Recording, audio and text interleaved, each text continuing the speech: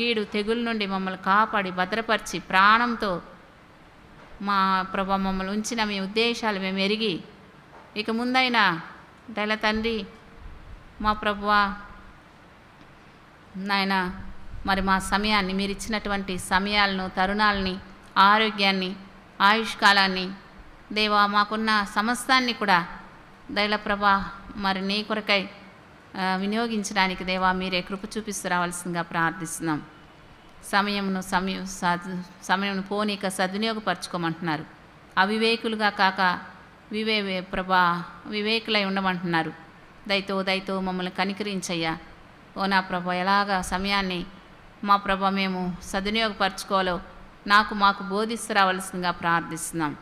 దయల తండ్రి మరి నే నా మట్టుకు నేను ఎంతగానో తండ్రి బుద్ధిహీనంగా ఎన్నెన్నో పర్యాయాలు అతిగా ప్రవర్తించిన దాన్ని. దేవా సమయం ఈ యొక్క ప్రభా నా తండ్రి ఎలాంటి మరి ప్రభా ఈ యొక్క పరిస్థితులు వీటన్నిటిని చూచి నెహమ్య వలె నీ సన్నిధిలో చేరి కూర్చుండి ప్రార్థించక దళిత ఎన్నో పర్యాయాలు నాయన ఆర్థిక వైదొలిగిపోయాను. నన్ను క్షమించుము నీ రక్తంతో కడుగు. నన్ను సరిచేయము దేవా కనికరించయ్యా. దేవా ఈ సమయంలో వాక్యధ్యానంలో కృప చూపించండి. వందనాలు చెల్లిస్తూ మీ పరిశుద్ధాత్మ యొక్క ఆధీనంలో నన్ను ఉంచుకోమని యేసు ప్రభు నాలో వేడుకుంటున్నాం తండ్రి. ఆమెన్.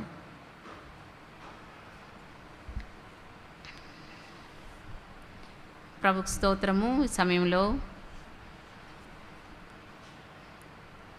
నూట నలభై మూడవ కీర్తనలు. నూట నలభై మూడు.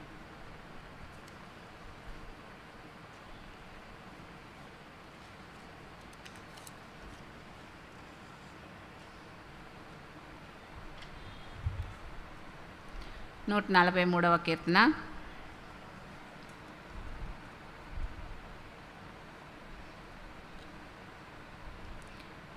చదువుకుందాము. యహోవా నా ప్రార్థన ఆలకింపుము నా విన్నపములకు చెవియొగ్గుము. నీ విశ్వాసతను బట్టి నీ నీతిని బట్టి నాకు ఉత్తరమిమ్ము. తర్వాత ఏడు నుంచి చదువుకు ఏ- ఆరు నుండి చదువుకుందాం.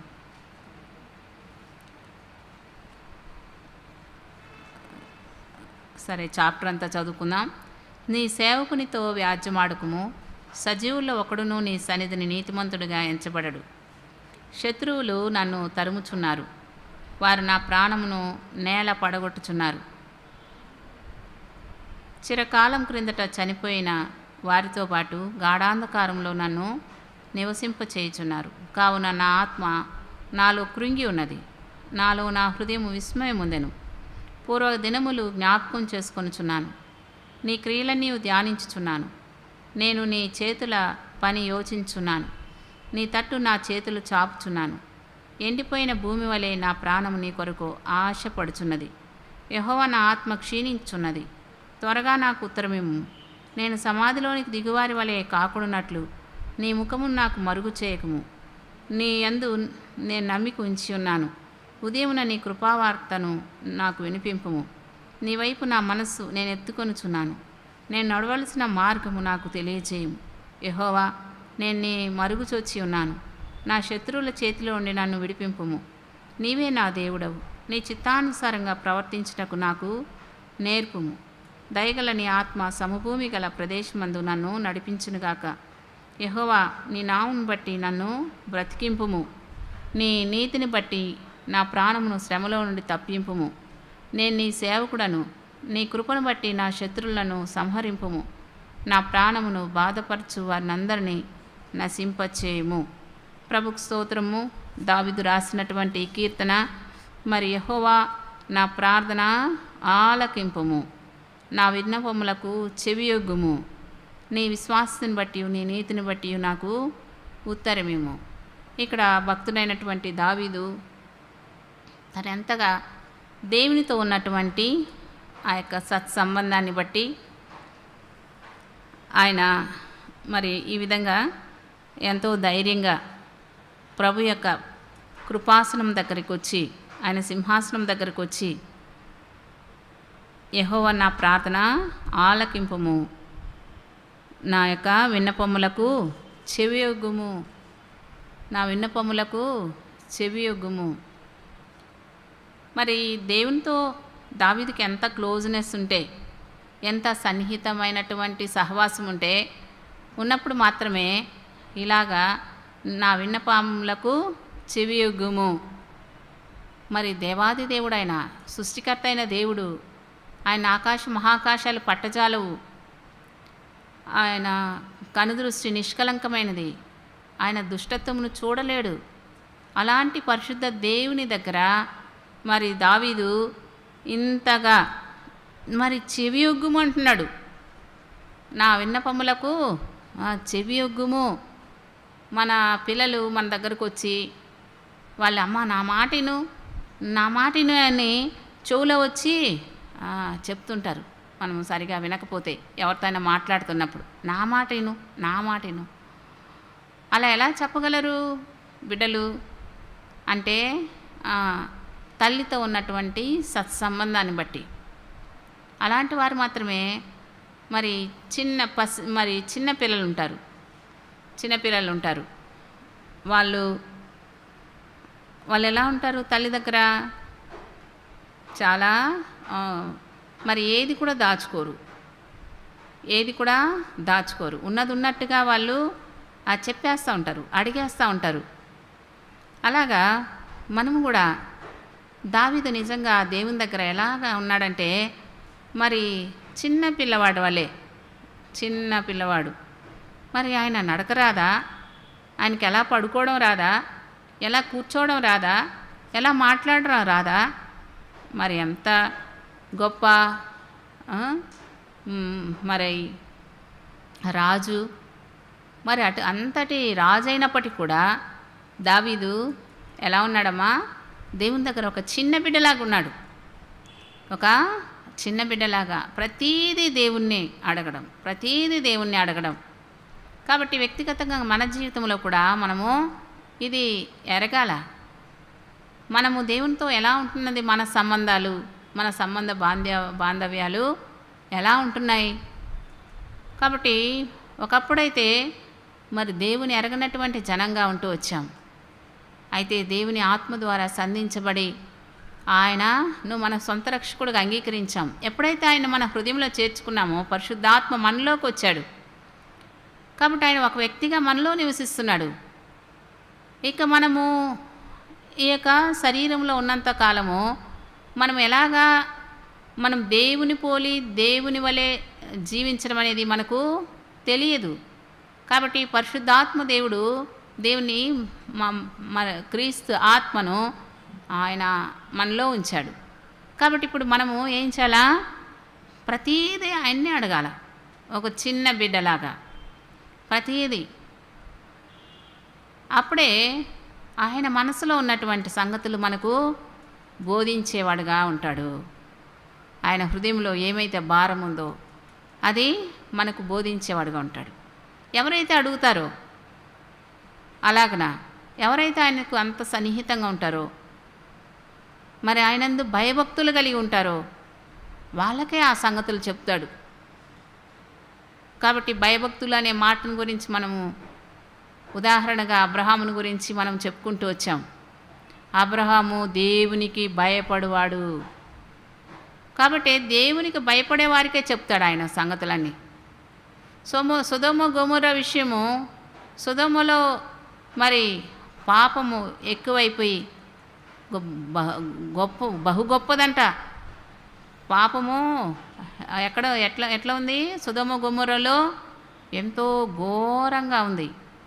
కాబట్టి ఆ విషయమై దేవుడు ఇక భరించలేక ఆ యొక్క పట్టణాన్ని కాల్చాలని అనుకున్నప్పుడు దాన్ని దహించాలని అనుకున్నప్పుడు ఆయన ఏమనుకుంటాడమ్మా మనసులో? నేను ఈ సంగతి అబ్రహామునకు దాచెదనా? అని అనుకుంటాడు. అని ఈ సంగతి నేను అబ్రహామునకు దాచెదనా? అక్కడ మా చూడండి. పద్దెనిమిదో అధ్యాయం. ఆది కాండం పద్దెనిమిది పదిహేడవ వచనం. అప్పుడు ఎహోవా నేను చేయబో కార్యము అబ్రహామునకు దాచేదనా? చూసారా?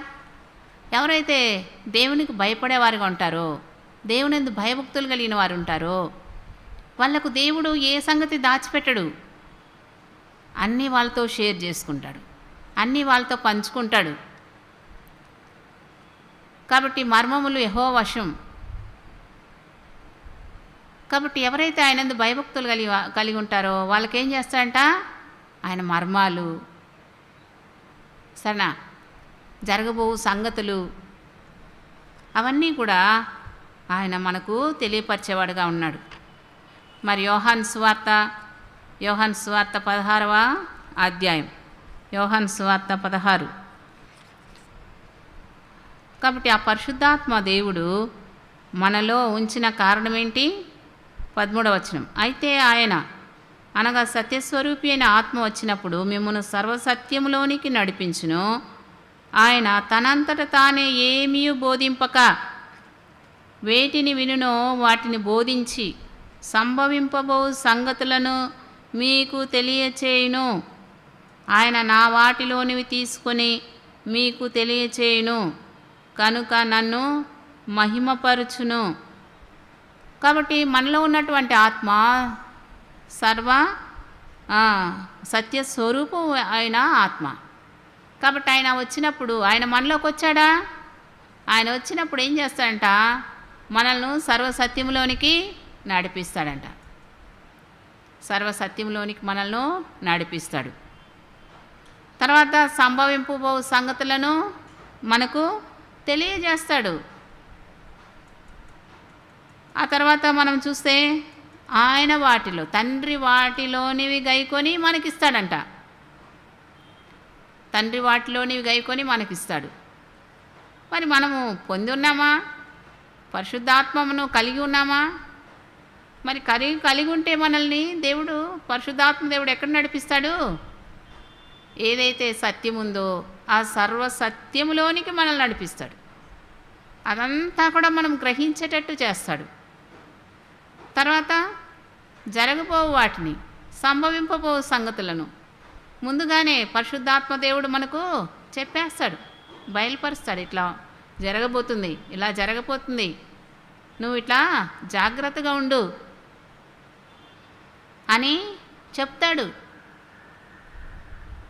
తర్వాత ఏవేవైతే తండ్రి వాటిలో తండ్రి దగ్గర ఉందో వాటన్నిటినీ దేవుడు పరిశుద్ధాత్మ దేవుడు మనకు ఇస్తాడంట.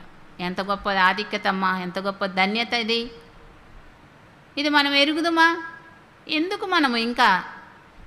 ప్రభుని ఎరిగి కూడా రక్షింపబడి కూడా బాప్తిసం పొంది కూడా పరిశుద్ధాత్మను పొందినామని చెప్పుకుంటూ కూడా మనకు అసలు ఏ సంగతులు దేవుని గూర్చిన సత్యమును గూర్చినటువంటి సంగతులు మనము గ్రహించలేకపోతున్నాం? జరగబో సంగతులేంటో? మనం మనకు దేవుడేమీ చెప్పట్లేదు. ఎందుకు? ఎందుకు చెప్పరు? ఎందుకు చెప్పట్లేదు దేవుడు? మన మనకిద్దరు పిల్లలు ఉన్నారు ఒకడు చాలా తెలివైనోడు. వాడు అన్ని తల్లిదండ్రులకు మంచి పేరు తేవాలని సరే అన్ని విషయాల్లో బాధ్యతగా ఉండాలని చాలా బాధ్యతగా బాధ్యతలు తీసుకుంటాడు. ఇంకొకడు అసలు ఏం పట్టించుకోడు. తల్లిదండ్రుల విషయమో పట్టించుకోడు బాధ్యత ఉండదు. ఇంటి విషయాలు బాధ్యత ఉండదు. వాళ్ళని చూస్తాం మనం గమనిస్తాం తల్లిదండ్రులుగా. గమనించి ఏం చేస్తాం? అబ్బాయి అబ్బాయి చాలా తెలివైనోడు. నా విషయంలో ఎంత శ్రద్ధ వహిస్తాడు? అమ్మ పడుకున్నారు. ఏంటమ్మా ఎందుకు బాగలేదా? అని వచ్చి అడుగుతారు కొంతమంది పిల్లలు. కొంతమంది పిల్లలు అడగరు అసలు పట్టించుకునే పట్టించుకోరు. అటే తిరుగుతుంటారు కానీ మమ్మీ ఎందుకు పడుకున్నారు? డాడీ ఎందుకు రెస్ట్లెస్గా ఉన్నారు? అన్నీ అసలేం పట్టించుకోరు. ఇల్లు ఎంత ఎట్లా ఉన్నా కూడా అవి కూడా పట్టించుకోరు. మనం గమనిస్తాంగా తల్లిదండ్రులుగా మనం ఇప్పుడు ఏం చేస్తాం? ఎవరికి చెప్పుకుంటాం? ఆ చిన్నవాళ్ళైనా అమ్మ ఏంటి బాగలేదంటే బాబు నాకు ఇలా ఉంది ఇలా ఉంది. కొంతమంది పిల్లలు చాలా తెలివిగా ఉంటారు. మరి మే ఆహా మరి వెళ్ళిపోయి మెడికల్ షాప్కి వెళ్ళిపోయి మా అమ్మకి ఇట్ట తలనొప్పిగా ఉందంట. అని చెప్పి మందులు కూడా తీసుకొచ్చి తల్లులకు ఇచ్చే వాళ్ళ పిల్లలు ఉన్నారు. శ్రద్ధ వహించే పిల్లలు ఉంటారు.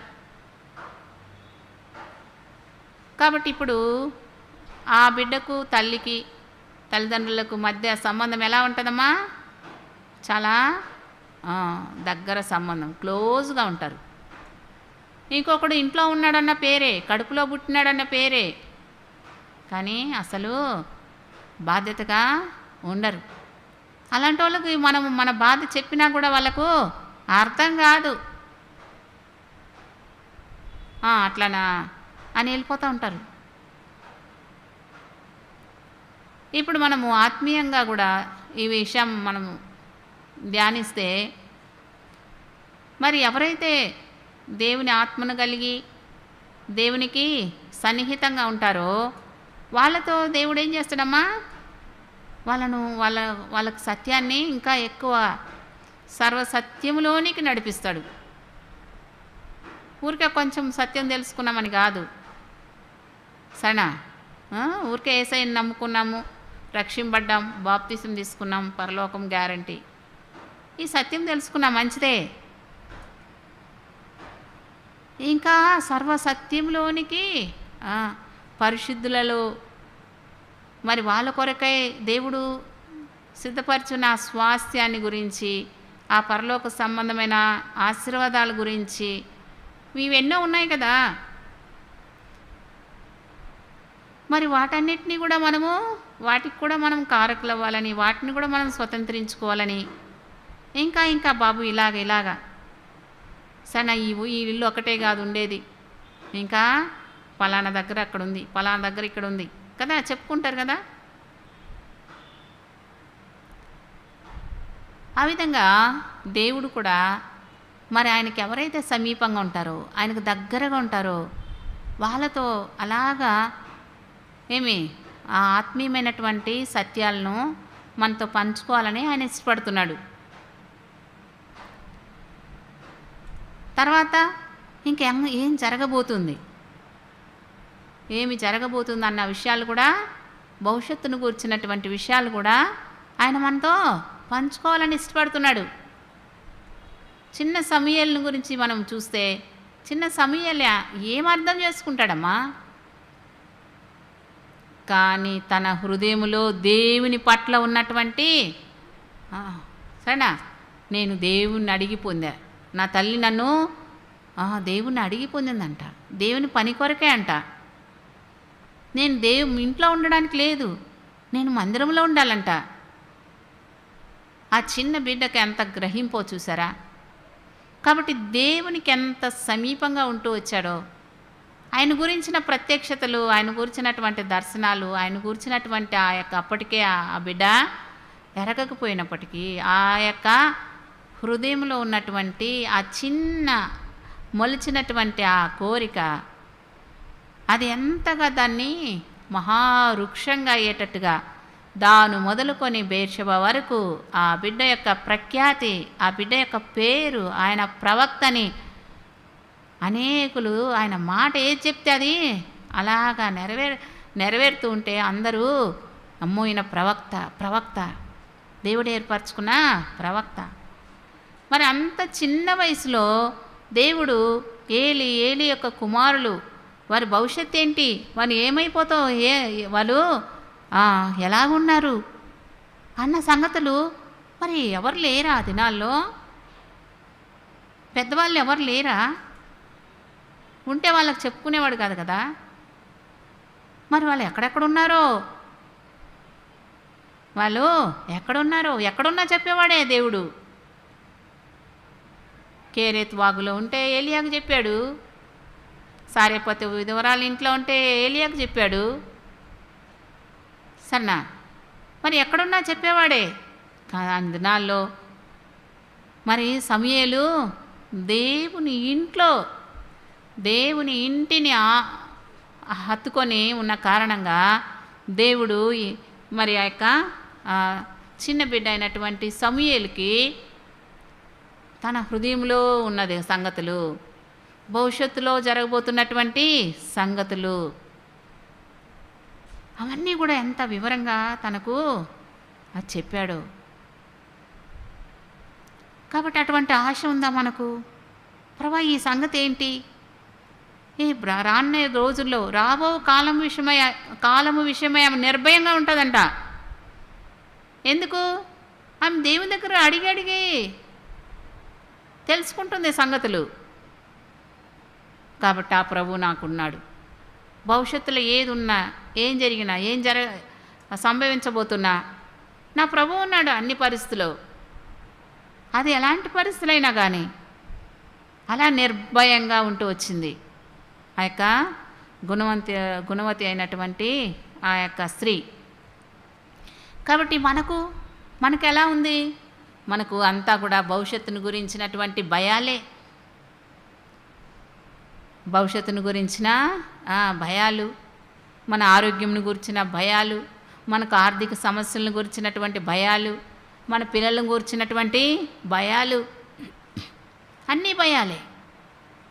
మరి అలాంటప్పుడు మనము దేవుని యొక్క ఆ పరిశుద్ధాత్మ యొక్క పరిశుద్ధాత్మ దేవునితో మనము మన యొక్క సత్సంబంధాలు ఎలా ఉన్నాయి? మరి ఆ యొక్క బుద్ధి లేని కుమారుడు లేకుంటే తప్పిపోయిన కుమారుడు ఇంట్లోనే ఉంటూ వచ్చాడు. అతడు తన తండ్రి యొక్క ఆస్తి అంతటికి వారసుడు. అయితే ఏం చేశాడమ్మా? తాను సుబుద్ధిని ఆధారం చేసుకుంటా. ఇకేం చేశాడు? తండ్రి ఆస్తినంతా పాడు చేస్తూ వచ్చాడు పాడు చేస్తూ వచ్చాడు. అలాగా మన దేవుడు మన తండ్రి మన కొరకై ఏదేదైతే గుప్తపరిచి పెట్టున్నాడో అవన్నీ మనకి ఇవ్వాలనమ్మా. మన పేర్లు అక్కడ పరలోకం అంతా మనదే. పరలోకంలో మన పేరు రాసి పెట్టేశాడు. ఈ పరలోకము ఇదిగో ఈ బిడ్డకు. సరేనా? కాబట్టి ఇక పరలోకం అంతా మనకైతే అయితే మనకు ఏదేదైతే దేవుడు సిద్ధపరుస్తున్నాడో మరి దానికి తగ్గట్టుగా ఆ రాజ్యమునకు ఆ మహిమకు తగినట్టుగా మనం ఈ లోకంలో నడుచుకుంటే కదా దాన్ని మనము స్వతంత్రించుకోగలము. ఆ రాజ్యమునకు ఆ మహిమకు ఆ ఆశీర్వాదాలకు తగినట్టుగా మనము నడుచుకోకపోతే వాటన్నిటినీ మనము అమ్మా మనం స్వతంత్రించుకోలేం. మరి ఏషావు జ్యేష్ఠుడుగా పుట్టాడు. కనీసం జ్యేష్ఠత్వపు హక్కులన్నా వచ్చేవి కదా. తను పుట్టినందుకు జ్యేష్ఠుడిగా పుట్టినందుకు ఆ యొక్క జ్యేష్ఠుడికి రావాల్సిన సర్వ హక్కులు అతనికి వచ్చేది కదా. ఒకవేళ పరసంబంధమైనటువంటి ఆశీర్వాదాలు అన్నీ అది రాకపోయినా ఒక జ్యేష్ఠుడుగానే ఉండిపోయేవాడు కదా. ఆ జ్యేష్ఠత్వపు విలువను ఏషావు ఎరగలేదు. అటు తర్వాత తను ఎంతగా దుఃఖించాడో ఎంతగా ఏడ్చాడో అటువంటి దౌర్భాగ్యుడు ఎవరు లేదంటున్నాడు. కాబట్టి ఈ జీవితకాలం మట్టుకే మనము క్రీస్తునందు విశ్వాసం ఉంచిన మనుషులందరికంటే దౌర్భాగ్యులుగా ఉంటామంట. ఆ యొక్క ఏషావులా దౌర్భాగ్యులుగా ఉంటాం.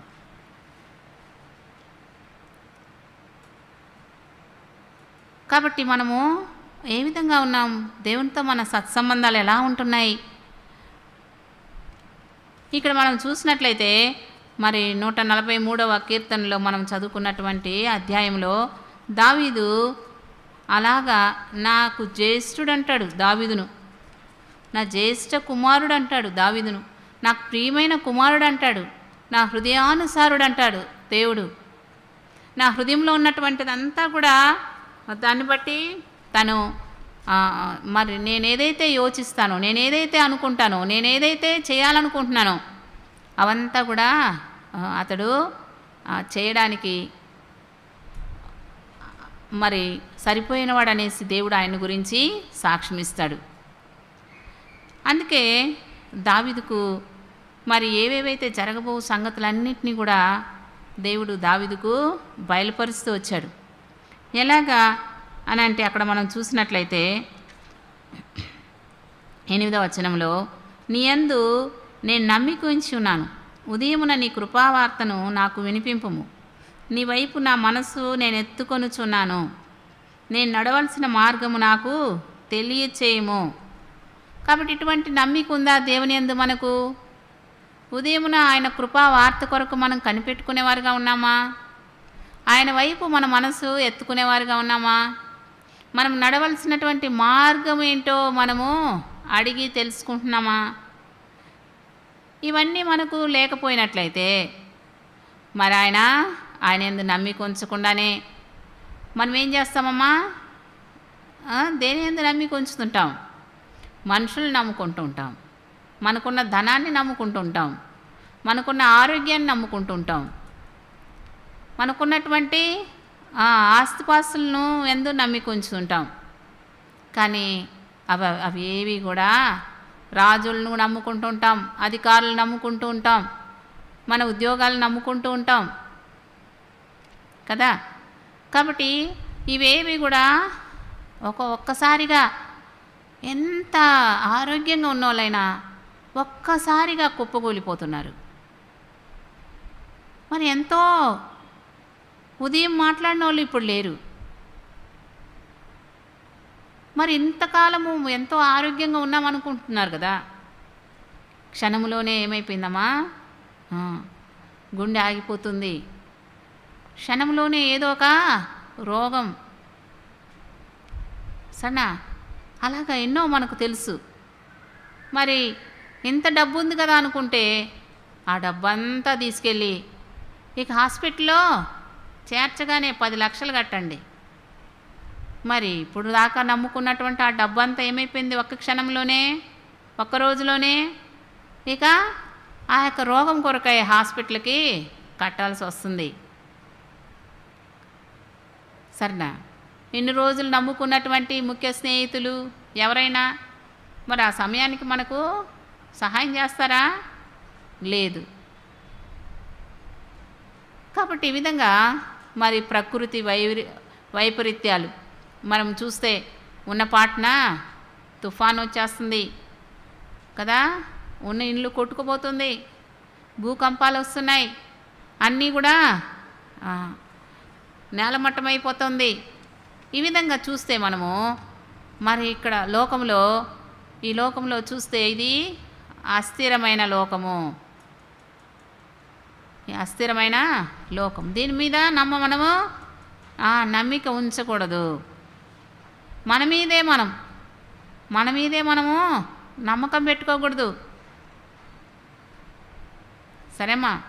కాబట్టి మన పిల్లలకు కూడా మనము చెప్తుండాల ఎప్పుడు ఉంటామో మేము ఎప్పుడు ఉండమో మరి మీరు ఆత్మీయంగా ఉండండి దైవికంగా ఉండండి.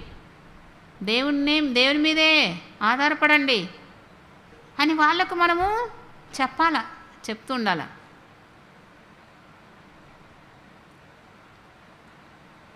మరి ఒక మరి దే మంచి దైవ అంటే దేవుని సేవలో ఎంతో వాడబడుతున్నటువంటి ఒక అన్న నిన్నటి దినము మెసేజ్ చెప్పారు.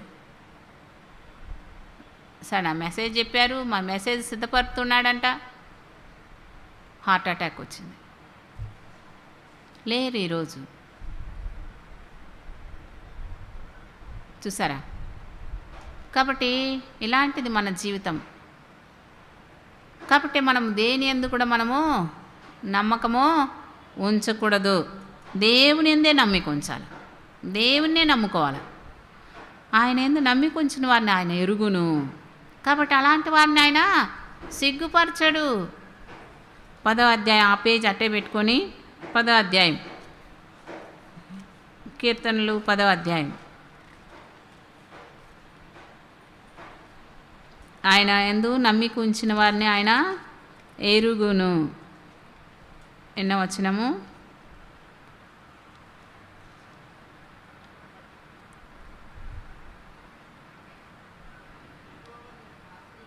ఎన్నో వచ్చినమమ్మా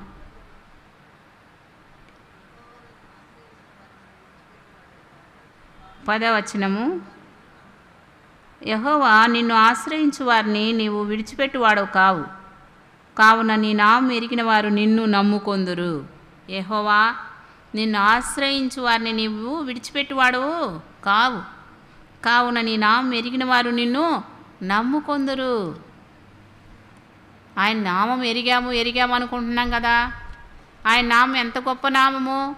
అన్ని నామముల కంటే పైనామం ఆయన నామమే. యేసుక్రీస్తు నామం. సన్నా ఇంకెవ్వరు నమ్ముకోదగిన వాళ్ళు ఎవ్వరు కూడా లేరు. అలాగే ప్రేమించే వాళ్ళు భూలోకంలో ఎవ్వరు కూడా లేరు. ఆ ప్రేమకు సరిపడేటటువంటి లక్షణాలు కలిగిన వాళ్ళు ఎవ్వరు కూడా లేరు. కాబట్టి ఆయన ఒక్కడే నమ్ముకోదగినవాడు. ఆయన ఒక్కడే నమ్ముకోదగినవాడు. కాబట్టి నమ్మామా? ఆయన నమ్మామా? నమ్మితే ఎలా ఉంటారు వాళ్ళు? కదా? ఆయన ఆయన నమ్మితే ఇక ఏ విషయంలో కూడా వారు దేని విషయంలో కూడా వెన వెన మరి అనుమానం పడరు వెనుకంజ వేయరు నిరుత్సాహంగా ఉండరు. నిరాశగా ఉండరు భయపడేవారుగా ఉండరు కలవరపడేవారుగా ఉండరు దుఃఖపడేవారుగా ఉండరు. మరి ఏం తిందుమో ఏం త్రాగుదుమో ఏం ధరించుకుందుము అని అలాగా ఉండరు. కాబట్టి ఆయన నమ్మిక ఉంచిన వారు ఎట్లుంటారంటే మరి మొదటిగా ఆయన రాజ్యమును నీతిని వెతికేవారుగా ఉంటారు. ఆయన్నే వెతికేవారుగా ఉంటారు. ఎందుకు? అన్నీ ఆయన దగ్గరే కదా మనం పొందేది? కాబట్టి ఆయన ఏందే నమ్మికుంచి ఉంటారన్నమాట. ఆ తర్వాత ఉదయం నా నీ కృపావార్తను నాకు వినిపింపుము. కాబట్టి ఉదయాన్నే ఏం చేయాలంట? ఎవరి వార్త వినాలా? న్యూస్ కాదు వినాల్సింది. ఆ వార్తలు కాదు వినాల్సింది. ఏ వార్త వినాలమ్మా? దేవుని వార్త కృపా వార్త అది కాబట్టి ఆ కృప ఎటువంటి అనర్హులకైనా కూడా అనర్హులైనా కూడా కదా దా ఆ కృపను పొందడానికి మనం యోగ్యులం కాము అర్హులం కాము. అలాంటి అనర్హులమైనటువంటి మనకు ఆయన కృపను ఇచ్చాడు కదా. మన రక్షణ పొందింది ఏంటి? కేవలం ఆయన కృపను బట్టే. కాబట్టి ఆ కృపా వార్తను మనకు ఉదయాన్నే లేవగానే మదర్ తెరిసాన్ గురించి చదివితే ఆ ఉదయాన్నే లేవగానే ప్రభు దగ్గర ప్రభా నీ ప్రేమతో నన్ను నింపు. నీ జ్ఞానంతో నింపు. నీ కృపతో నన్ను నింపు. అని ఆమె మొదటిగా దేవుని యొక్క ప్రేమతో కృపతో జ్ఞానంతో నింపమని అడిగేదంట. అలాగ అడుగుతున్నామా మనము? ఉదయం లేవగానే ఆయన కృపా వార్త కొరకై కనిపెట్టుకునేవారుగా ఉన్నామా? తర్వాత దినమంతట్లో నేను నడవలసిన మార్గంలో నన్ను నడిపించయ్యా. నేను నడవలసిన మార్గంలో నన్ను నడిపించు అని అడుగుతున్నామా? దావీదైతే ఇవన్నీ కూడా మనకు తెలిసిన విషయాలే. కానీ మనకు తెలుసు అనుకుంటాం కానీ మనకి ఏమీ తెలియదు. అంటే అలాగ నడుచుకోవట్లేదు కదా. కాబట్టి ఎంతెంత జ్ఞానమున్నా దే వాక్యమును కూర్చున్నటువంటి అనుభవ జ్ఞానము అనుభవ జ్ఞానం కాదు అది. మెంటల్ జ్ఞానం. అంటే మరి మానసికంగానే ఇదంతా నాకు తెలుసు బైబిల్ అంతా నాకు తెలుసు బైబిల్ అంతా నాకు తెలుసు అంటాం కానీ అది హృదయంలో దే ఆ యొక్క దేవుని కూర్చున్నటువంటి జ్ఞానము ఎలాంటిదంట? జ్ఞానమునకు మించిన క్రీస్తు ప్రేమతో నింపబడి ఉండాలి. కదా? మరి చదువుకున్న వాళ్ళు అయితే యాభై సార్లు చదువుతారు వంద సార్లు చదువుతారు. చదువుకోని వాళ్ళు చదువు రాని వాళ్ళు ఏం చేస్తారమ్మా? మరి మరి మరియమ్మకి ఏం చదువు ఉంది పేతురికి ఏం చదువు ఉంది శిష్యులైనటువంటి వారికి ఏం చదువు ఉంది ఆదిమ దినాల్లో ఏం చదువు ఉంది కదా?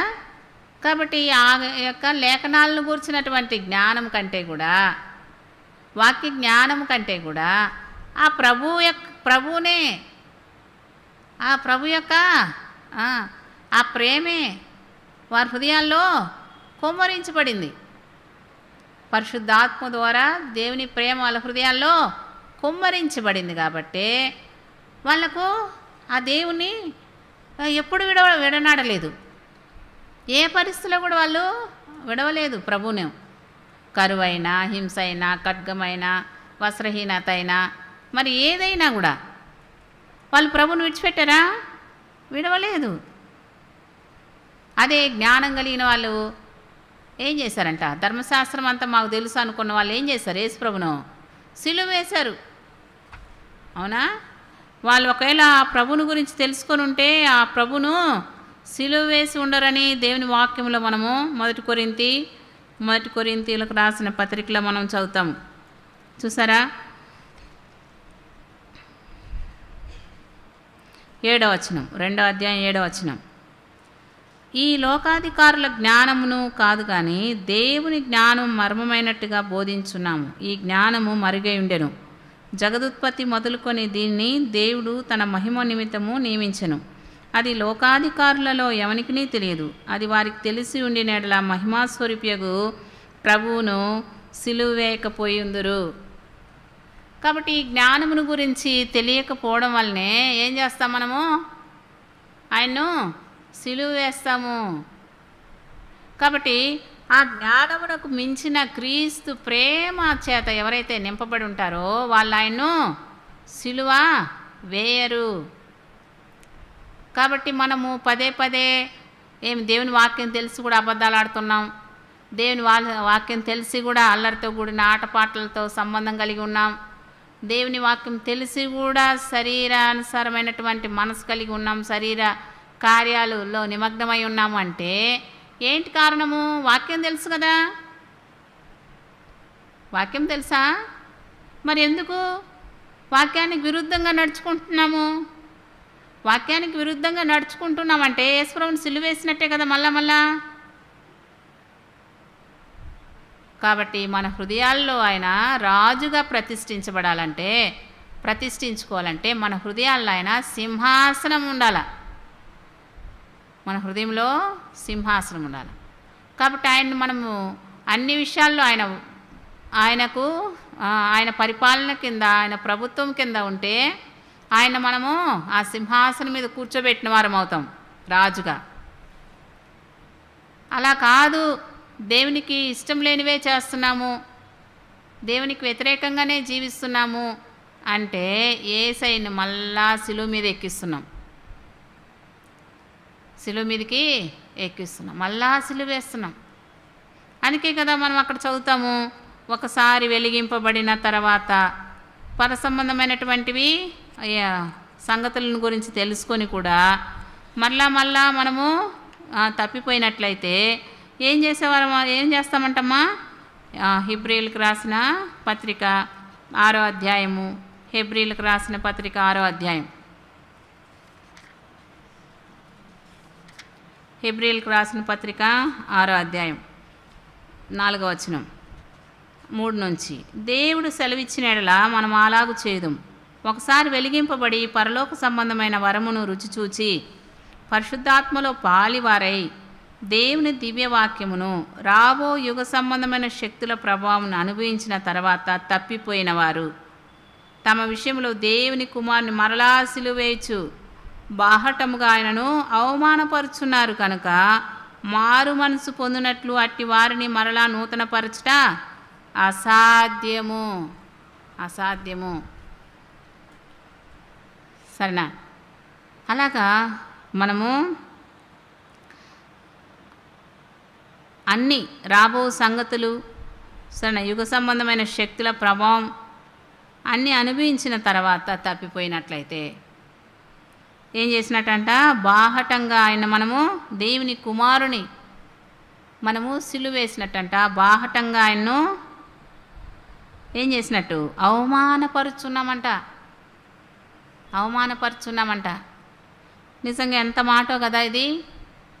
కాబట్టి మనము ఎలా ఉంటున్నామో మనం పరీక్షించుకోవాలా. నూట నలభై మూడో అధ్యాయంలో అందుకే పదో వచనంలో అంటున్నాడు దావీదు నీవే నా దేవుడు నీ చిత్తానుసారంగా ప్రవర్తించుటకు నాకు నేర్పుము నేర్పుము. కాబట్టి మనం మనమేం అడుగుతుంటాం దేవుని దగ్గర? చాలా మర్మాలు కదా? అవన్నీ ప్రతిరోజు కొత్త కొత్త కొత్తవి నేర్చుకోవాలని ఆశపడుతుంటాం. అసలైన సంగతులు మూలపాఠాలన్నీ కూడా అవి నెరవేర్చం. దాని ప్రకారం మనము జీవించం. అలాంటప్పుడు ఎంత జ్ఞానం పొందినా ఏ లాభము? ఎన్నిసార్లు వంద వందల కొలది రెండు వందల సార్లు బైబిల్ చదివినా ఏ లాభము? అవన్నీ కంటత చేసి పెట్టుకున్నా ఏ లాభము? కదా? ఆ వాక్యానుసారంగా జీవించకపోతే అంతా కూడా వ్యర్థమే. కాబట్టి ఆయన చిత్తానుసారంగా ప్రవర్తించడం నేర్పించాలి నే నేర్చుకోవాలి మనము. ఎప్పుడు నే ఎవరు నేర్పిస్తారు? అంటే దయగల నీ ఆత్మ సమభూమి గల ప్రదేశమందు నన్ను నడిపించునుగాక. ఎవరు నడిపిస్తారు మనల్ని? ఆయన ఆత్మ. ఆయన ఆత్మ. ఆయన ఆత్మే మనల్ని ఏం చేస్తున్నామా సమభూమి గల లెవెల్ ప్లేస్ ఇది టేబుల్ ఎలా ఉంది? కదా చూస్తాం. ఎ- ఎగుడు దిగుడుగా ఉందా? లేదు. ఇది ఎంతో? సమభూమి. సమ మన మనం కూర్చున్నటువంటి స్థలం. అలాగా సమభూమి గల ప్రదేశంలో నన్ను నడిపించునుగాక. ఆయన ఆత్మ ఏం చేస్తుంది మనల్ని? ఆ, అలాగ హెచ్చు తగ్గులు అట్టా ఉంటే నడవగలమా? ఇప్పుడు మనము ఆ యొక్క మెట్ల మీద ఇక్కడ గుణదలు ఎక్కుతుంటాం కదా? అబ్బో అసలు కనిపించదు కనిపించదు అది అది. అలాగే ఎక్కుతూ ఎక్కుతూ ఎక్కుతూ ఉంటే కాళ్ళు పట్టేస్తాయి నడుము పట్టేస్తుంది మళ్ళా ఎంతో బాడీ పెయిన్స్. అదే అలవాటు అయిన వాళ్ళకి ఏం లేదులే. మళ్ళీ చకచకాని ఎక్కేస్తారు చకచకాని దిగేస్తారు. మా కానీ మొదటి రోజుల్లో ఎట్లా ఉంటుంది? వాళ్ళకి చాలా కష్టంగా ఉంటుంది. ఇంకో విధానంలో చూస్తే అది ఎక్కలేనటువంటి ఎత్తైన కొండ అనుభవం అది. సరేనా? అయితే మనము ఆత్మీయంగా మనము ఆత్మీయంగా ఉండాలి అంటే ఎట్లా అంట? దేవుని ఆత్మే ఆయన చిత్తానుసారంగా నడుచుకోవాలన్నా సరిగైన విధానంలో నడుచుకోవాలన్నా పరిశుద్ధాత్మ దేవుడే మనల్ని సమభూమి గల ప్రదేశంలో నడిపిస్తాడు. కాబట్టి ఈ యొక్క ఎప్పుడు మనము పరిశుద్ధాత్మ యొక్క నడిపింపును అడిగేవారుగా ఉండాలి. కాబట్టి ఇది అంతా కూడా ఆత్మ ఫలాల్లో పరిశుద్ధాత్మ అన్నీ అక్కడ ఉంటాయి. కదా? ప్రేమ ఉంటుంది సంతోషం ఉంటుంది సమాధానం అన్నీ ఉంటాయి. తొమ్మిది ఫలాలు అక్కడ ఉంటాయన్నమాట. కాబట్టి వాటన్నీ మనము వాటిల్లో మనము చూడండి. గలతీలకు రాసిన పత్రిక గలతి ఐదో అధ్యాయము ఐదవ అధ్యాయం. ఇరవై మూడు. ఇట్టి వాటికి విరోధమైన నియమం ఏదీ లేదు. సరేనా? ఈ నియమాలు పాటిస్తే చాలమ్మా. పరిశుద్ధాత్మ దేవుని యొక్క సరేనా? ఆ ఫలాలు పరిశుద్ధాత్మ ఫలాలు ఆత్మ ఫలాలు. ఆ యొక్క ప్రేమ సంతోషము సమాధానం దీర్ఘశాంతం దయాలత్వం మంచితనం విశ్వాసం సాత్వికం ఆశా నిగ్రహం ఇట్టి వాటికి విరోధమైన నియమం ఏదీ లేదు. ఈ నియమాలు మనము కలిగి ఉంటే చాలు. క్రీస్తేసు సంబంధులు శరీరమును దాని ఇచ్చలతోనూ దురాశలతోనూ సిలువ వేసి ఉన్నారు. కాబట్టి ఏసైన సిలువ వేయడం కాదు మన జీవితాల ద్వారా. మనము సిలువ వేయబడాల వాటన్నిటికీ. దేనికి? శరీర ఇచ్చలకు కదా? లోకానికి లోకం మనకు మనము లోకానికి సిలువేయబడి ఉండాలి. ఆ సిలువ అనేది మనము ఇలాగ సిలువ మనకు మన హృదయంలో నాటబడి ఉంటే మనకు అడ్డంగా ఉంటే మనకేం కనిపిస్తుంది? ఇటు చూస్తే లోకం కనిపిస్తుందా? సిలువ కనిపిస్తుందా? సిలువే కనిపిస్తుంది. అమ్మో ఏసై నా కోసం సిలువేయబడ్డాడు ఎంత శిక్ష అనుభవించాడు? చీ నేను అలాగ ఉండకూడదు. అనేసి ఏం చేస్తామా ఆ సిలువను చూసి ఏమి పాపం చేయకుండా పవిత్రంగా ఉంటాం. ఆ సిలువ మరి లోకంలో వాళ్ళు మన వైపు చూడాలనుకో మనలో ఏం కనిపిస్తుంది వాళ్ళకు? సిలువ కనిపిస్తుంది కదా? ఈ సిలువ వేయబడినటువంటి మనము వాళ్ళకు కనిపిస్తాం. అవునా? కాబట్టి లోకానికి మనము మనము లోకానికి ఎట్టుండాలా? సిలువ వేయబడిన వారుగా ఉండాలా? కాబట్టి అట్లాంటి బిడ్డలే సిలువను ఎత్తుకోవడానికి ఇష్టపడతారు. అట్లాంటి వారే సిలువను వీడరు. అలాంటి వారే కృతజ్ఞత బుద్ధి కలిగి ఉంటారు. అలాంటి వారే ఏమి? అటువంటి జ్ఞానం అటువంటి తండ్రి ఆ యొక్క ప్రభు పట్ల ప్రేమను కలిగిన బిడ్డలే సరేనా? అలాగా ఆయన్ను విడిచిపెట్టరు. ఆయనకు విరోధంగా జీవించరు. ఆయన చిత్తానుసారంగా నడుచుకుంటారు. అట్లాంటి బిడ్డలకే దేవుడు ఏం చేస్తాడమ్మా? ఆయన సమీపంగా ఉంటాడు. వాళ్ళకు తనలో తన హృదయంలో ఉన్నటువంటి సంగతులు వాళ్ళతో పంచుకుంటాడు.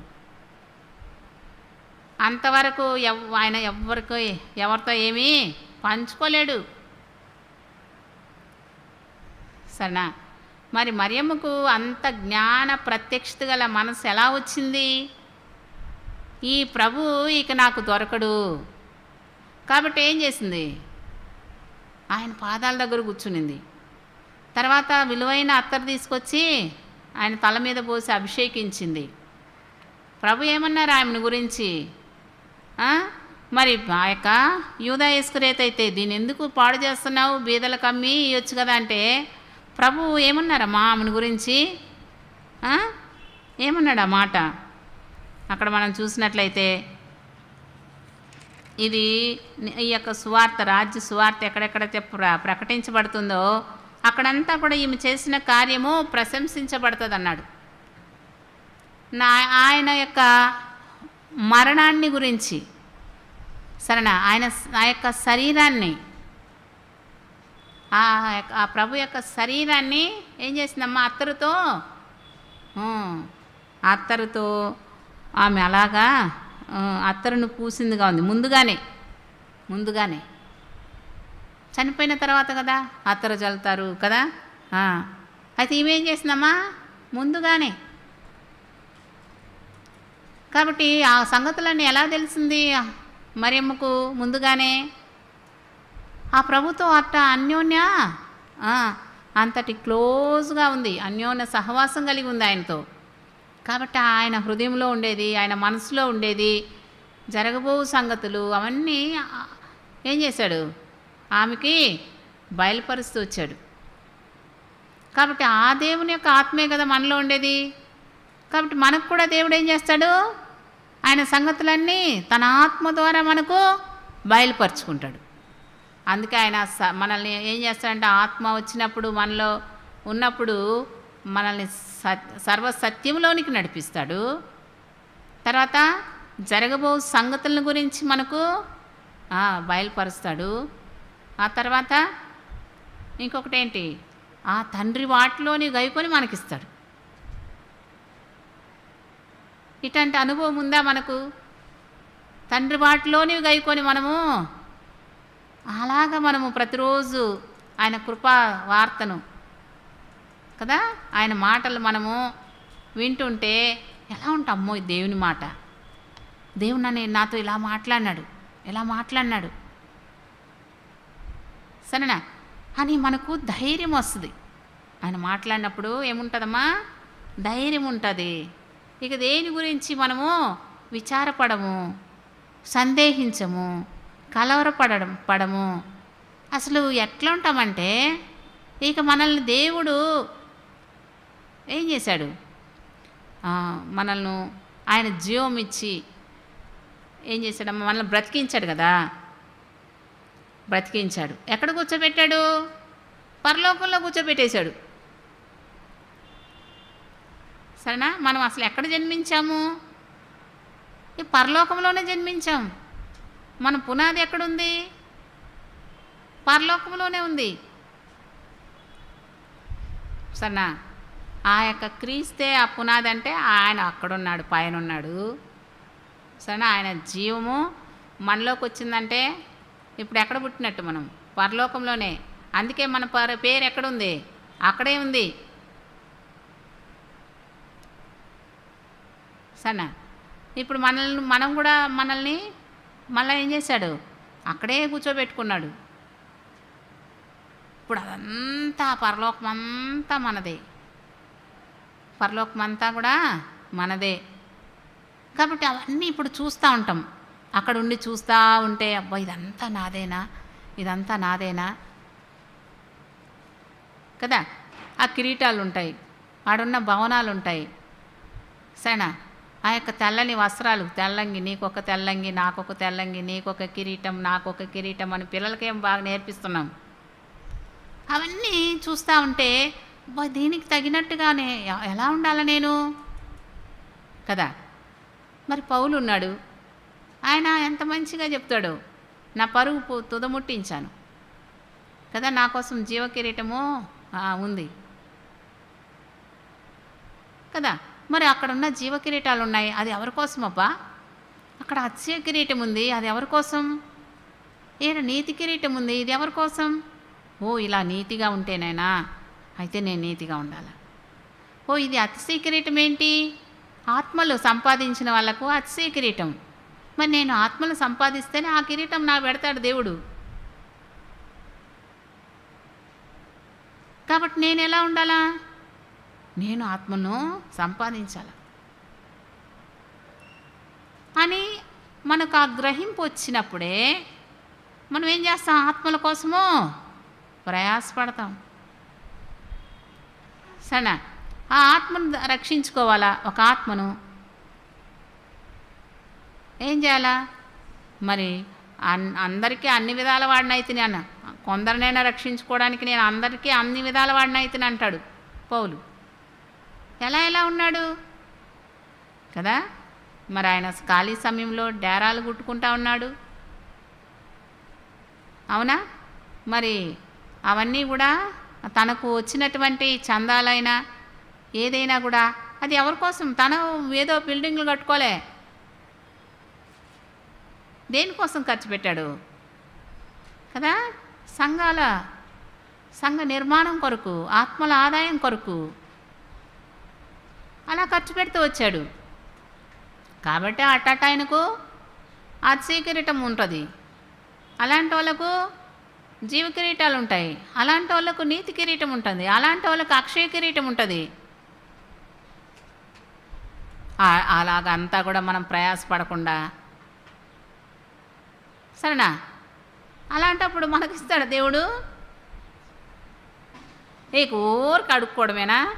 నాకు ఇవ్వయ్యా నాకు ఇవ్వయ్యా నువ్వు ఏది నువ్వు నువ్వేం క్రయం చెల్లించట్లేదు కదా నువ్వేం దానికోసం సాక్రిఫైస్ చేయట్లేదు కదా నీ జీవితాన్ని?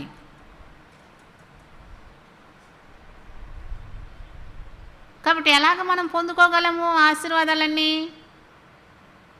మనకేముండదు అక్కడ పోతే ఇంక బోడికి కిరీట కిరీటాలే మా పిల్లలతో చెప్తుంటా. అరే మీరు మా నా మా పిల్లలై ఏమి? ఇక్కడ మీరు ఆత్మీయంగా మరి ఎదగక ఆ తర్వాత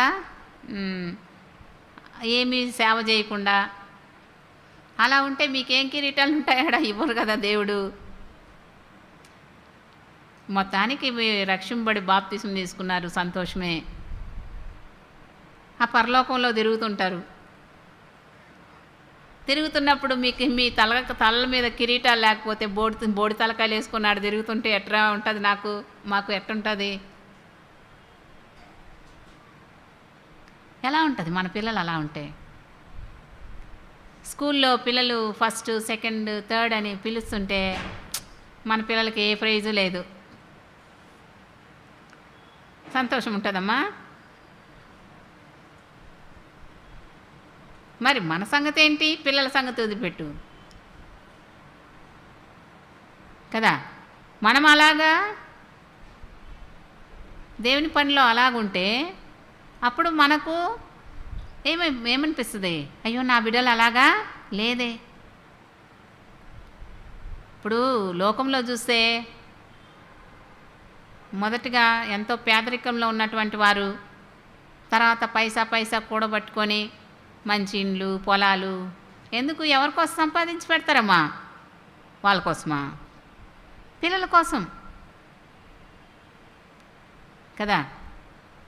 పిల్లల కోసము పెడతారు. పిల్లలు పిల్లలు పిల్లలు. మరి వాళ్ళు కష్టపడితేనే కదా పిల్లల కోసం దాచిపెట్టగలిగారు? వాళ్ళు కష్టపడకుండా పిల్లల కోసం ఎలాగ వాళ్ళు దాచిపెట్టగలరు? అలాగ మనము ప్రభు కొరకు ప్రయాసపడకుండా ప్రభు కొరకు అలాగ ఆయన కోరినటువంటి జీవితాలు మనం జీవించకుండా మనం ఎలాగ మన పిల్లలకు చెప్పగలం? అవునా? కాబట్టి నిజంగా మనల్ని మనం వంచుకుంటున్నాం మనల్ని మనం మోసపరుచుకుంటున్నాం మళ్ళీ వాళ్ళకు జన్మనిచ్చి ఆ పిల్లలకు మళ్ళీ వాళ్ళను కూడా ఏం చేస్తున్నాం ఆస్తికర్తలుగా చేస్తున్నామా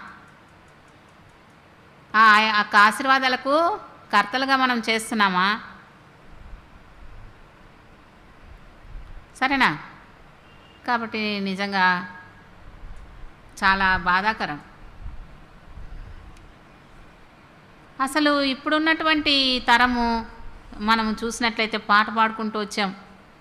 మరి మరి విలపింతువా నెహమ్య వలే విలపింతువా ఎజ్రావలే. కూర్చుండి ఉపవాసముతో. కాబట్టి ఇవన్నీ కూడా ఎలా మనము సాధ్యపరచుగ సాధ్యపరచుకోగలము? ఇది మనకు అసాధ్యం. ఇది మనకు అసాధ్యం. కాబట్టి అక్కడ మరి శిష్యులు చేసి ప్రభుతో అడిగారు కదా ఎందుకు ఈ దెయ్యాన్ని మేము వెళ్ళగొట్టలేకపోయాము? ఎందుకు వెళ్ళగొట్టలేకపోయాము సన్నిధి ఉపవాస ప్రార్థన ద్వారా తప్ప ఇక దేని ద్వారా కూడా ఇది సాధ్యము? కాదు. సాధ్యం కాదు. కాబట్టి మా ఉపవాస ప్రార్థన అన్నప్పుడు మరి ఇది పరిశుద్ధాత్మ దేవుడు. ఆయన మనకు ఆ ప్రేరేపణ ఇస్తేనే కానీ మనము ఉండలేం. మనము ఉండలేం. కాబట్టి ఇప్పుడు పరిశుద్ధాత్మ దేవుడు మనల్ని ఆ- సమభూమి గల ప్రదేశంలో మనల్ని ఆయన నడిపిస్తాడు. ఆయన చిత్తానుసారంగా ఆయనకు అప్పగించుకోవాలి మనం. కాబట్టి ఇప్పుడు ఉపవాస ప్రార్థన అన్నప్పుడు మరి ఎస్తేర్ ఉంది. ఎస్తేర్తో పాటు చాలామంది అక్కడ పని వాళ్ళు ఉంటారు కదా. ఏమా? ట్యూషన్ కొట్టో ఎంత పెద్దది? ఏమి? మరి అక్కడ ఎంతోమంది ఉంటారు. కానీ అక్కడ ముగ్గురు పనికత్తెలే. ముగ్గురు పనికత్తెలు ఏం చేశారంటమ్మా? ఎస్తేర్తో పాటు ఉపవాసం ఉన్నారు ముగ్గురు పనికత్తెలు. కాబట్టి దేవుడు ఎటువంటి గొప్ప కార్యం చేశాడు? అవునా? ఒక్క రోజులోనే యూదులందరూ కూడా హతమార్చబడాలా?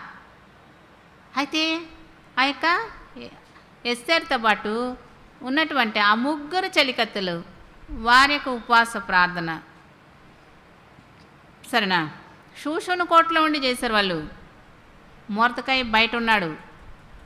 తర్వాత మూర్తకాయ ద్వారా సంగతి తెలిసి అంతా శూషణ కోట నూట ఇరవై ఏడు సంస్థాల్లో ఉన్నటువంటి యూదులందరూ కూడా ఉపవాసం ఉంటూ వచ్చారు. ఎవరెవరు ఉన్నారో ఏమో అక్కడ లెక్క అయితే లేదు కానీ సరేనా? ఒక్క ఎస్తేరు ఎస్తేరుతో పాటు ముగ్గురు చెలికత్తెలు. ఒక చెలికత్తెలు కూడా కాదు వాళ్ళు పని వాళ్ళు పనికత్తెలు. చూస్తారా? కాబట్టి ఈమెమో రాణి. ఆమెతో పాటు ఉన్నటువంటి ఆమె ఫెలోషిప్లో ఆమె సహవాసంలో ఉన్న బిడ్డలు ఎవరు పనికత్తెలు. కాబట్టి దేవునికి హెచ్చు తగ్గులని ధనికులని పేదవాళ్ళన్న భేదము లేదు. ఆడ చూస్తే మెజారిటీ ఆఫ్ పీపుల్ చూస్తే ముగ్గురు పనికత్తెలే ఉన్నారు. కాబట్టి అందరికీ ఏం గొప్ప గొప్ప వాళ్ళు బాగా ఉన్నవాళ్ళు డబ్బు ఉన్న వాళ్ళకు ఇట్లాంటి భారాలు ఉండవు. ఎందుకు? అంత సమృద్ధి ఉంది కదా. మాకేం తక్కువ? కాబట్టి మేమెందుకు ఉపవాసాలు ఉండాలా? కానీ ఆత్మ విషయమై దీనులైన వారికే ఇట్లాంటి భారం ఉంటుంది. ఆత్మ విషయమై దీనులైన వారు ధన్యులు. పరలోక రాజ్యము వారిది. కాబట్టి ఇప్పుడు ఎస్తేరికే ఆ భారం. ఎందుకు? ఆమె ఆ దీనత్వంలో ఉండి వచ్చిందమ్మా. ఆ యొక్క యూదులైనటువంటి వారిని ఎలాగెలాగా అన్యజనులు ఎలా ద్వేషిస్తూ వచ్చారో ఎలాగ చెదరగొట్టబడుతూ వచ్చారో యూదులు. సరేనా? తన తండ్రి పిల్లలు వారు. ఆ పరలోకపు తండ్రి బిడ్డలు వారు. కాబట్టి ఆ యొక్క ఆత్మీయ కుటుంబస్తులు వాళ్ళు. కాబట్టే ఆ తల్లికి ఎస్తేరికి అంత భారం వచ్చింది. మనకుందా అట్లాంటి మనస్సు? లోకంలో ఇలాగా సంఘాలు పాడైపోతున్నాయి మందిరాలు కూల కొట్టేస్తున్నారు. దేవుని పిడలు చల్లాచెదరైపోయారు. సరేనా? మందిరానికి సరిగా రాలేకపోతున్నారు. మందిరాలన్నీ కూడా ఖాళీగా ఉంటున్నాయి. ఇట్లాంటి భారం ఉందా? ఇలాంటి భారం ఉందా? అలాంటి భారంతో మనం ప్రార్థన చేస్తున్నామా దేవుని సన్నిధిలో? ఎప్పుడు నేను నా నేను నాకు ఆరోగ్యము నా కొడుకులు నా యొక్క కూతుర్లు వాళ్ళ పెళ్ళిళ్ళు వాళ్ళ ఉద్యోగాలు వాళ్ళ యొక్క ఆ భవిష్యత్తు. ఇవేనా మన ప్రార్థనలు? ఇవన్నీ తాత్కాలికమైనవి కాదా? మరి దేవుని రాజ్యము దేవుని ఇల్లు దేవుని మందిరము నశించే ఆత్మలు ఈ భారం ఉందా మనకు? అసలు చూస్తే ఇట్లాగా మన యొక్క మనం నివసిస్తున్నటువంటి ఆ యొక్క స్థలాల్లో ఉన్నటువంటి ఏమి? మరి ప్రజలు దేవుడు కాని వాటిని దేవుడు అనుకుంటూ వాటిని పోయి పూజిస్తా సేవిస్తూ ఉంటే ఏమన్నా భారం ఉందా మనకు అసలు? ఏమన్నా మరి నెహమ్యలాగా కన్నీరు గారుస్తున్నామా? ఎజ్రాలాగా కన్నీరు గారుస్తున్నామా? ఎస్తేర్లాగా కన్నీరు గారుస్తున్నామా? కాబట్టి ఎవరికి ఉంటుంది భారము? ఎవరికి వస్తుందమ్మా భారము? నాకు అనిపించింది ప్రభా కరెక్ట్గా పది ఇన్ని రోజులు నాకు పదకొండు గంటల కంటే ఏమో అంత మనసులో ఇష్టంగా ఉండేది కాదు. పదకొండు గంటలకు స్త్రీ సిస్టర్స్ మీటింగ్ అంటే. ఎందుకంటే ఎంతంత దూరాల నుండి వస్తారు కదా ఇంకా ట్రాఫిక్ ఈ వీటిని బట్టి సమయానికి రాలేకపోతున్నారు అన్నట్టుగా పదిన్నర అనుకుంటా పదకొండు గంటలకు అట్లాగా ఉంటూ వచ్చింది. కానీ నాకు అనిపించింది ప్రభా ఏమి ఎస్తేర్తో పాటు ఉన్న పనికెత్తులు. ముగ్గురున్నా చాలయ్యా. ముగ్గురున్నా చాలు ఉపవాస ప్రార్థనకు. నేను బాధపడుతూ ఉంటా. ఎందుకు ఆదివారాలు ఇంతమంది వస్తారు సిస్టర్స్? బ్రదర్స్ కంటే ఎక్కువ సిస్టర్సే ఉంటారు ఎక్కడ ఏ సంఘంలో అయినా. కానీ ఉపవాస ప్రార్థనలకు స్త్రీల కూడికలకు ముఖ్యంగా ఉపవాస ప్రార్థనలకు ఎంతమంది ఉంటారమ్మా? ఎంత తక్కువగా ఉంటారు? దేవుడు ఎవరికి ఆహ్వానం ఇచ్చాడు రోదన చేసి స్త్రీలను పిలవనంపమంటున్నాడు. ఎంతమంది వచ్చినా ఏ లాభము? దేవుని యొక్క రాజ్య వ్యాప్తి కొరకై నశించే ఆత్మల కొరకైనటువంటి భారం కలిగినటువంటి బిడలు ఏమి? నలుగురున్న ముగ్గురు నలుగురున్నా చాలు. కదా? అక్కడ దానియలు దానియలతో పాటు ఎంతమంది ఉన్నారు? వాళ్ళు ముగ్గురే. వాళ్ళు కూడా నలుగురే. దానియలతో పాటు నలుగురు. కాబట్టి ఉపవాసంతోనే రావాలి మనం దేవుని ఇంటికి అక్క ఏంటక్క మాకు షుగర్ ఉంది నాకు షుగర్ ఉంది. ఇప్పుడు దాకా కొంచెం నీళ్ళు కూడా తాగలే.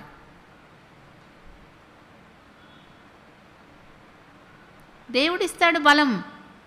దేవుడిస్తాడు ఆయన పునరుత్న శక్తి బలం మనలో పోస్తాడు.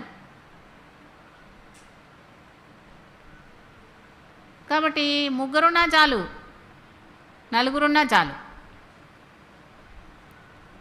అలాంటి భారభరితమైనటువంటి హృదయాలతో ఏక మనసుతో ఏక తాత్పర్యంతో ఏకభావంతో హృదయాలను ఐక్యపరచుకొని అలాగ దేవుని ఇల్లు పడిపోయి పాడైపోయి దేవునింటికి ప్రజలు రాకుండా ఎక్కడికక్కడ చల్లా చెదురైపోయి సరేనా? పాపం అనిపిస్తుంది. మరి ఫోన్లు టచ్ ఫోన్లు ఉన్న వాళ్ళు ఎంతమంది ఉన్నారు?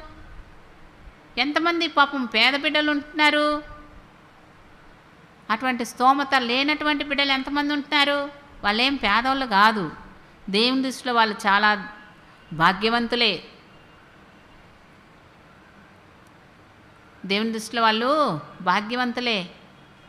మనకున్నాయి టచ్ ఫోన్లు అనుకొని ఆ టచ్ ఫోన్లు ఎన్నో లేనిపోనివన్నీ. సనా అదంతా చూసుకుంటా చూసుకుంటా టైం వేస్ట్ చేసుకుంటా. అలాగా టచ్ ఫోన్లు టచ్ ఫోన్లు అనుకుంటా. ఏదో ఈ లాక్డౌన్లో కొంతవరకు అది ఉపశమనం కలిగింది. వాటిని చూసుకోవడం వల్ల వాటితో మనము ప్రేయర్ చేసుకోవడం వల్ల కానీ ఇక్కడ దేవుని ఇంట్లో ఉన్నటువంటి ఆ యొక్క తృప్తి దేవుని ఇంట్లో ఉన్నటువంటి ఆ యొక్క ఐక్యత ప్రేమ సమాధానము ఆశీర్వాదము వర్ధిల్లత ఇవన్నీ మనకు ఫోన్లో దొరకు.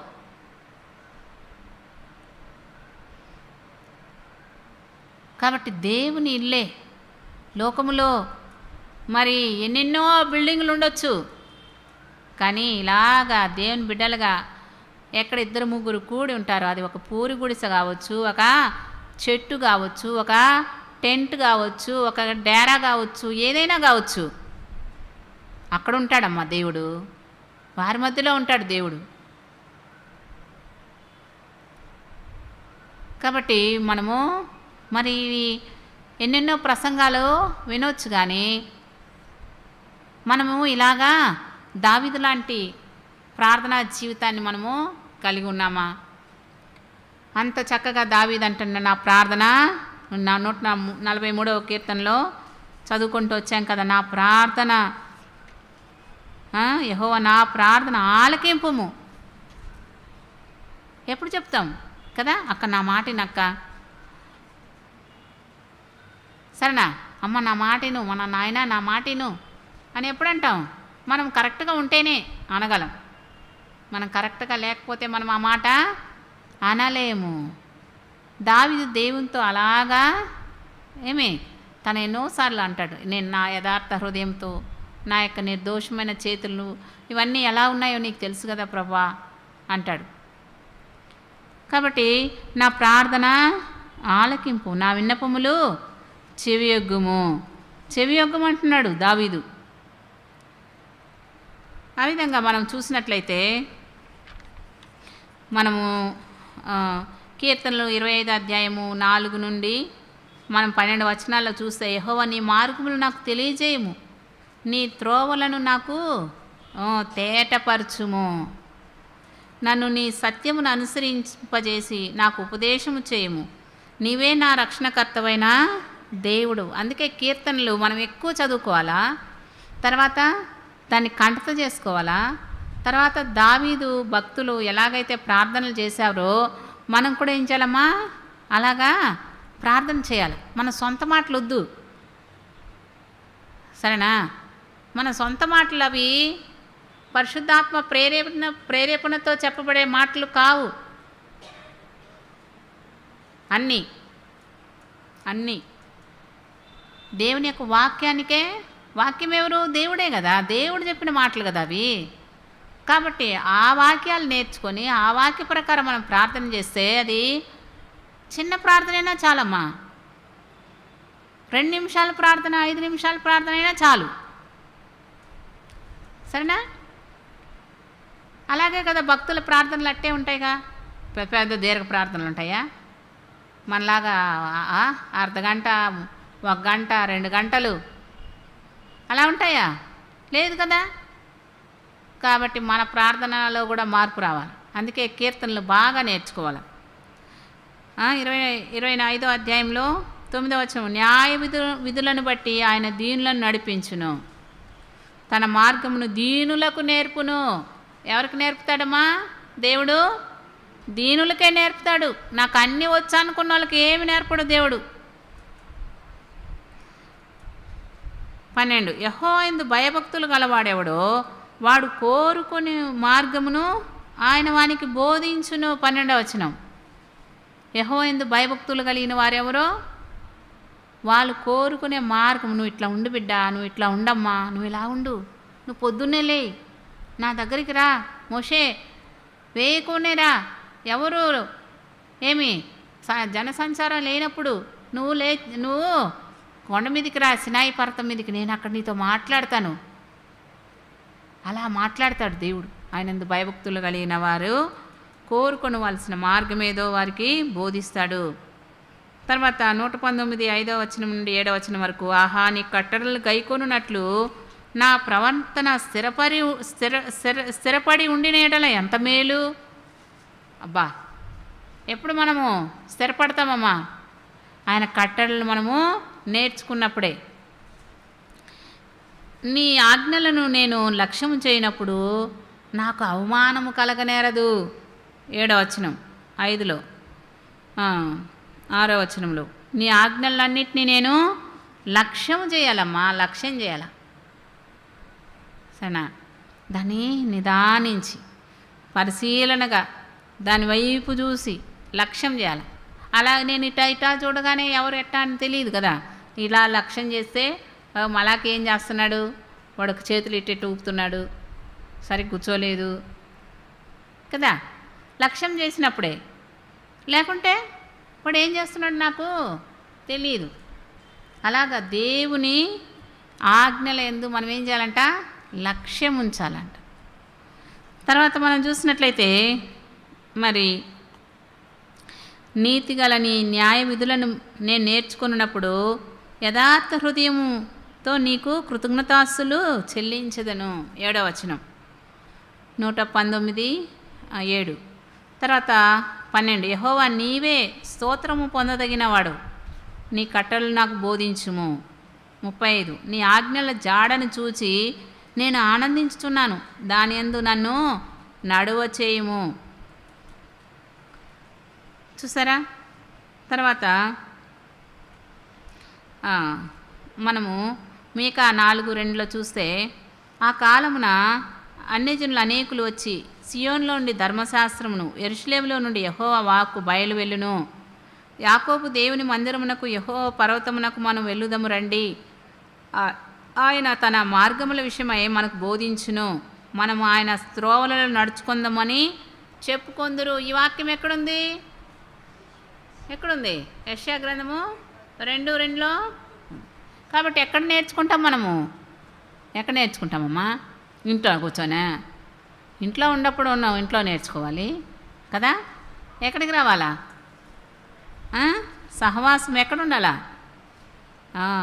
దేవుని మందిరమునకు యహోవా పర్వతమునకు మనము వెళ్ళుదము రండి. చూసారా? పర్వతం ఎక్కాలంటే కదా? కాబట్టి ఆ యొక్క ఆయన ఏం చేస్తాడు మనకు? తన మార్గాలు బోధిస్తాడు. ఆయన త్రోవల్లో నడుచుకుందామని చెప్పుకొని ఏం చేయాలి అందరినీ? ఒకరినొకరు పురికొల్పుకొని రావాల? దేవుని మందిరానికే రావాల? మత్తయి ఇరవై ఎనిమిది ఇరవైలో నేను మీకు ఏ ఏ సంగతులను ఆజ్ఞాపించుతునో వాటన్నిటిని గైకొనవలనని వారికి బోధించుడి. ఇదిగో నేను యుగ సమాప్తి వరకు సదాకాలం మీతో కూడా. కాబట్టి ఆయన ఏమేమైతే సంగతులు చెప్పాడో అవన్నీ ఏం చేయాలంటే మనము మనం గైకొనాలా మనము బోధించేవారుగా ఉండాలా? మరి మొదటి తిమోతి నాలుగు ఒకటి రెండులో అయితే కడవరి దినములలో కొందరు అబద్ధికులు వేషధారణ వలన మోసపరుచు ఆత్మల ఎందును దెయ్యముల బోధ ఎందును లక్ష్యముంచి విశ్వాస భ్రష్టులగుదురని ఆత్మ తేటగా చెప్పుచున్నాడు. చూసారా? మనకు మరి దేవుని వాక్యానుసారంగా కాకుండా సరేనా? మనం మనమే సొంతంగా ఏ తీర్మానాలు నిర్ణయాలు తీసుకుంటే అది ఏం బోదా ఏం బోధమ్మా? దెయ్యాల బోధ అంట దెయ్యముల బోధ. ఎందు లక్ష్యం ఉంచి విశ్వాస భ్రష్టులు అవుతారు కాబట్టి జాగ్రత్తగా ఉండాలి. హెబ్రిల్కి రాసిన పత్రిక పదమూడు ఇరవై ఒకటి. యేసుక్రీస్తు ద్వారా తన దృష్టికి అనుకూలమైన దానిని మనలో జరిగించుచు ప్రతి మనిషి విషయంలో తన చిత్త ప్రకారం చేయుటకు మిమ్మను సిద్ధపరచునుగాక. కాబట్టి దేవుని యొక్క దృష్టికి అనుకూలమైన దాన్నే మనం జరిగించాలి. ఆ తర్వాత మొదటి యోహాన్ పత్రిక రెండు ఇరవై ఏడులో ఆయన వల్ల మీరు పొందిన అభిషేకం మీలో నిలుచున్నది గనక ఎవడును మీకు బోధింపనక్కరలేదు. ఆయన ఇచ్చిన అభిషేకము సత్యమే కానీ అబద్ధం కాదు. అది అన్నిటిని గురించి మీకు బోధించుచున్న ప్రకారంగాను ఆయన మీకు బోధించిన ప్రకారంగాను ఆయనలో మీరు నిలుచుచున్నారు. కాబట్టి పరిశుద్ధాత్మ మనము అక్కడ చూస్తూ వచ్చాం కదా అది సమభూమి గల ప్రదేశములో మనల్ని నడిపిస్తుంది. అభిషేకం మనకు ఉందా ఎరుగుదుమా? ఆయనకు ఎవరు బోధించనక్కరలేదని కదా? కాబట్టి దేవుణ్ణి అడగాలి. దేవుణ్ణి అడగాల. ఆయన సర్వసత్యంలోనికి నడిపిస్తాడు. తర్వాత ఏం చేస్తాడమ్మా? జరగబో సంగతులను తెలియపరుస్తాడు. ఆ తర్వాత తండ్రి వాటిలోని గైకొని మనకిస్తాడు. మనం అది అడుగుదాం ఈరోజు. ఆ తర్వాత మళ్ళా చూసినట్లయితే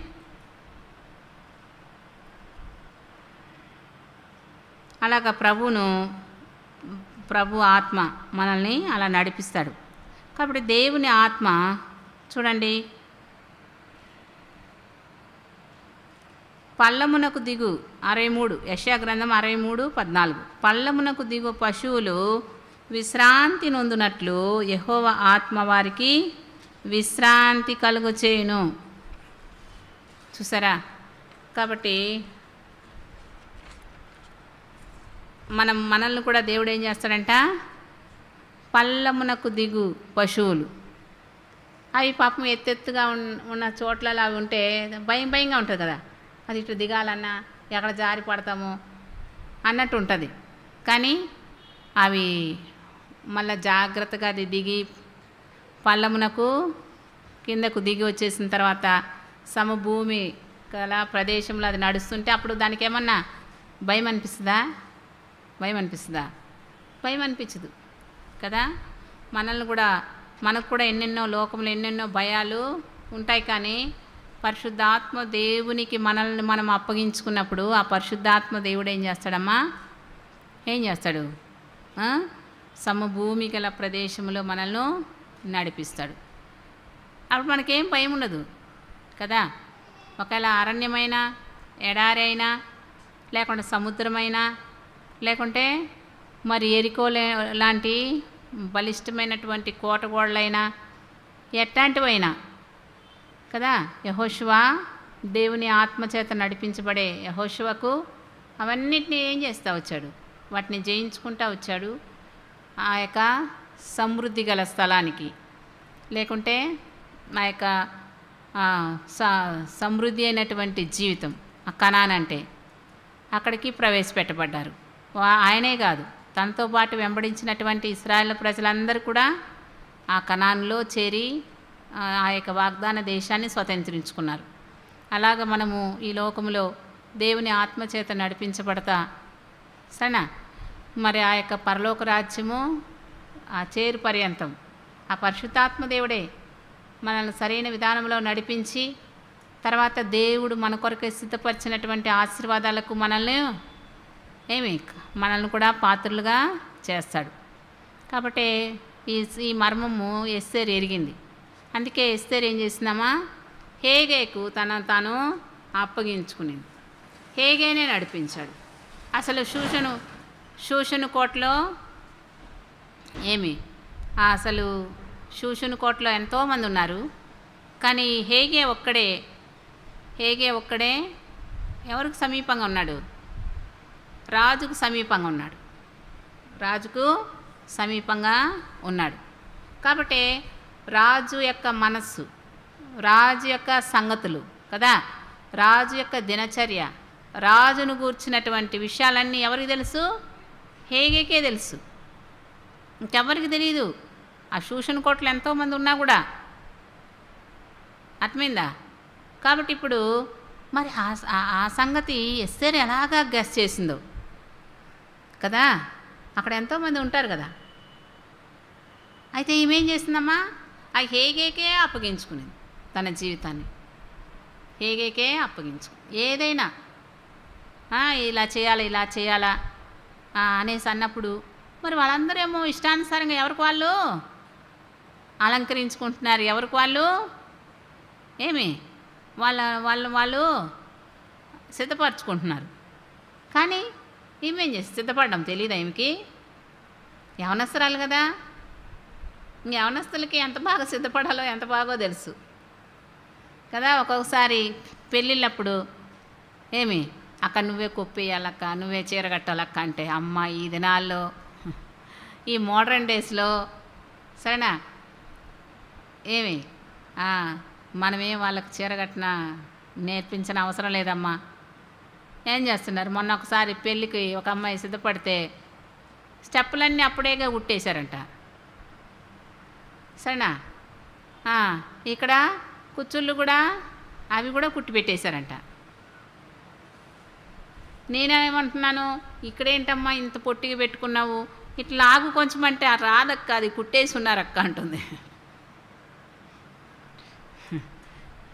మరి ఇంత ఇంత చిన్నది పెట్టుకొని ఏ లాభమమ్మా?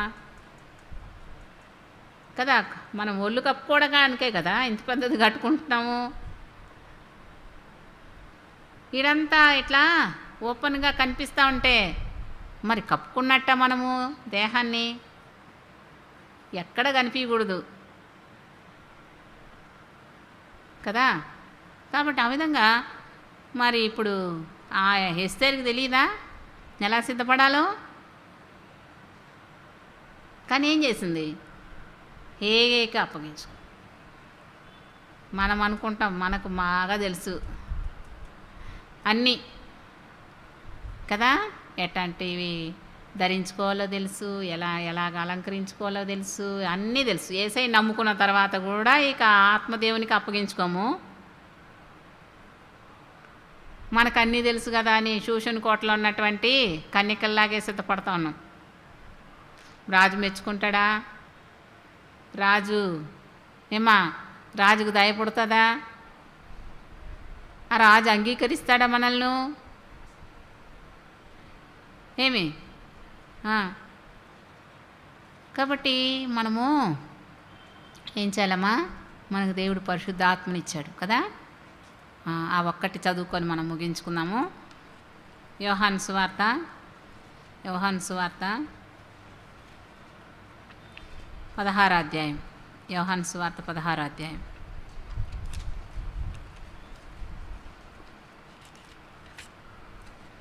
పదహారు పదమూడు పద్నాలుగు పదహైదు వచనాలు చదువుకుందాం. బాగా చదువుకుందాం. లక్ష్యం పెట్టి లక్ష్య పెట్టి మనసు పెట్టి. అయితే ఆయన అనగా సత్యస్వరూపి అయిన ఆత్మ వచ్చినప్పుడు మిమ్మను సర్వసత్యములోనికి నడిపించును. ఆయన తనంతట తానే ఏమీయూ బోధింపక. వేటిని వినునో వాటిని బోధించి సంభవింపబో సంగతులను మీకు తెలియచేయును. ఆయన నా వాటిలోనివి తీసుకొని మీకు తెలియచేయును కనుక నన్ను మహిమపరుచును. చూసారా? తండ్రి కలిగినవన్నీ నావి. అందుచేత ఆయన నా వాటిలోని తీసుకొని మీకు తెలియజేయనని నేను చెప్పి తిని చూసామా తండ్రి కలిగినవన్నీ కూడా ఏసయ్య ఏసయ్య ఆత్మే మనలో ఉండేది. ఏసయ్య ఆత్మే క్రీస్తు ఆత్మ మీలో ఉన్నాడలా మీరు ఆత్మ సంబంధులే కానీ శరీర సంబంధులు కారు. కానీ దేవుని ఆత్మే కదా మనలో ఉండేది. ఆయన ఆత్మ ఏం చేస్తుందంట? ఆయన వాటిలో ఉండి గైకోండి మనకిస్తాడంట. దేవా నేను బైబిల్ చదువుకుంటున్నా కానీ ఏం అర్థం కావట్లేదయ్యా. కదా? ఈ అక్షరాలే ఇట్ట చదివేసి నేను పెట్టేస్తున్నా. నాకు నువ్వు నీకు మరి చదువుకున్న వాళ్ళని చదువు రాని వాళ్ళని ఏమి గొప్ప వాళ్ళని పేద వాళ్ళని అసలు ఆయనలో ఆ తేడానే లేదు ఆ భేదాలే లేవు. మనల్ని అందరిని చూసుకుంటే సరేనా మన కడుపులో పుట్టిన పిల్లలు ఐదు మందిని ఎలా చూస్తాం? మనకన్నా కొంచెం పార్షాలిటీ ఉంటుందేమో. కదా? యాకోబు మరి యోసేపుని చూడగానే స్పెషల్గా కనిపించాడంట యొకబేదికి అమ్రామ్కి మోషన్ చూడగానే చాలా స్పెషల్గా అనిపించాడంట. అలాగా మనం ఏం చేస్తామా? అంటే ఆ మనసు దేవుడే ఇచ్చాడనుకో వాళ్ళకు అటని ఏం పార్షాలిటీ లేదు. ఎందుకంటే వాళ్ళు మరి తమ యొక్క వంశాన్ని అభివృద్ధిపరిచేవారు సరేనా? ఉండాలి కదా ఉండాలి కదా ఒక వారసుడు. అందరూ పన్నెండు పన్నెండు మంది కుమారులు అట్టాగే ఉండింటే. కదా? పదకొండు మందిలాగే. యోసేపు కూడా ఉండింటే. ఏమేదా? వంశావళి. కదా? కాబట్టే మరి మన మనం మనలో కూడా మనలో కూడా దేవుడు సనా అలాగ యోసేపులాగా మనల్ని చూస్తాడు ఎన్నుకుంటాడు. తర్వాత ఆ యొక్క మోషేలాగా మనల్ని ఎన్నుకుంటాడు. అలాగ సమూయల్లాగా ఎన్నుకుంటాడు. ఆ యొక్క ఇస్రాయల్ దేశపు చిన్నదానిలాగా మనల్ని ఎన్నుకుంటాడు. ఒక్కొక్క వంశం నుండి ఒక్కొక్క మన యొక్క వంశావళి నుండి. సరేనా? మరి ఆ వ్యక్తిని నేనే అని మనం అనుకుంటే మనం ఎలా ఉండాలా? కదా? అందుకే కదా మోర్దకాయ చెప్పిన మాటకు ఎస్తేరికి ఏమొచ్చిందమ్మా తన హృదయంలో బాకులాగా పొడుచుకునింది ఇందు నిమిత్తమే వచ్చావేమో నువ్వు చూసుకో. నువ్వు కానీ మౌనంగా ఉంటే యూదులకు సహాయం వేరొక దిక్కు నుండి వస్తుంది కానీ నువ్వు నీ ఇంటి వారు నశించిపోతారని. కాబట్టి మనం మౌనంగా ఉండకూడదు. నాకు మరి సముద్రం వచ్చింది. ఆ సముద్రం దాటాలంటే ఎలాగా? మళ్ళీ యోర్దాన్ వచ్చింది. సరేనా? యోర్దాన్ దాటాలని దాటాలంటే ఎట్టా? మరి ఎరికో వచ్చాయి కోటగోళ్ళు. అవి ఎట్ట కూల్చాలా అయితే ఇప్పుడు పరిశుద్ధాత్మ ఆయన ఏం చేస్తాడు? ఆయన ఆధీనంలో ఉంటే ఏం చేస్తాడమ్మా? అప్పు అసలు ఆకలైన వేళ మన్నా ఇచ్చేశాడు. దప్పికైనప్పుడు దాహం తెచ్చేశాడు. బండలే పగలగొట్టేశాడు దేవుడు. మా ఆకాశంలోండి మేఘస్తంభం దిగిపోయింది. ఆకాశంలోండి అగ్నిస్తంభం దిగిపోయింది. సరేనా? ఎక్కడున్న పూరేల్లో ఏ ఏ గూళ్ళల్లో ఉన్నాయో ఆ గూళ్ళే కాదు కదా. ఏసై పిలిస్తే ఎన్నెన్నో వచ్చి పడిపోతాయి. సముద్రము ఏమైపోయింది? సమభూమిలాగా అయిపోయింది. కదా? ఆ యొక్క పొడి నేల మీద నడుచుకొని పోయినట్టు నడుచుకొని ఆ యొక్క యువతాన్ని చూస్తే ఏమైంది? ఆ యొక్క యాజకులు స్థుతిస్తా స్థుతిస్తా వాళ్ళ పాదాలు నీళ్ళలో ఇట్లా పాదం మునగగానే అది ఎండిపోయింది.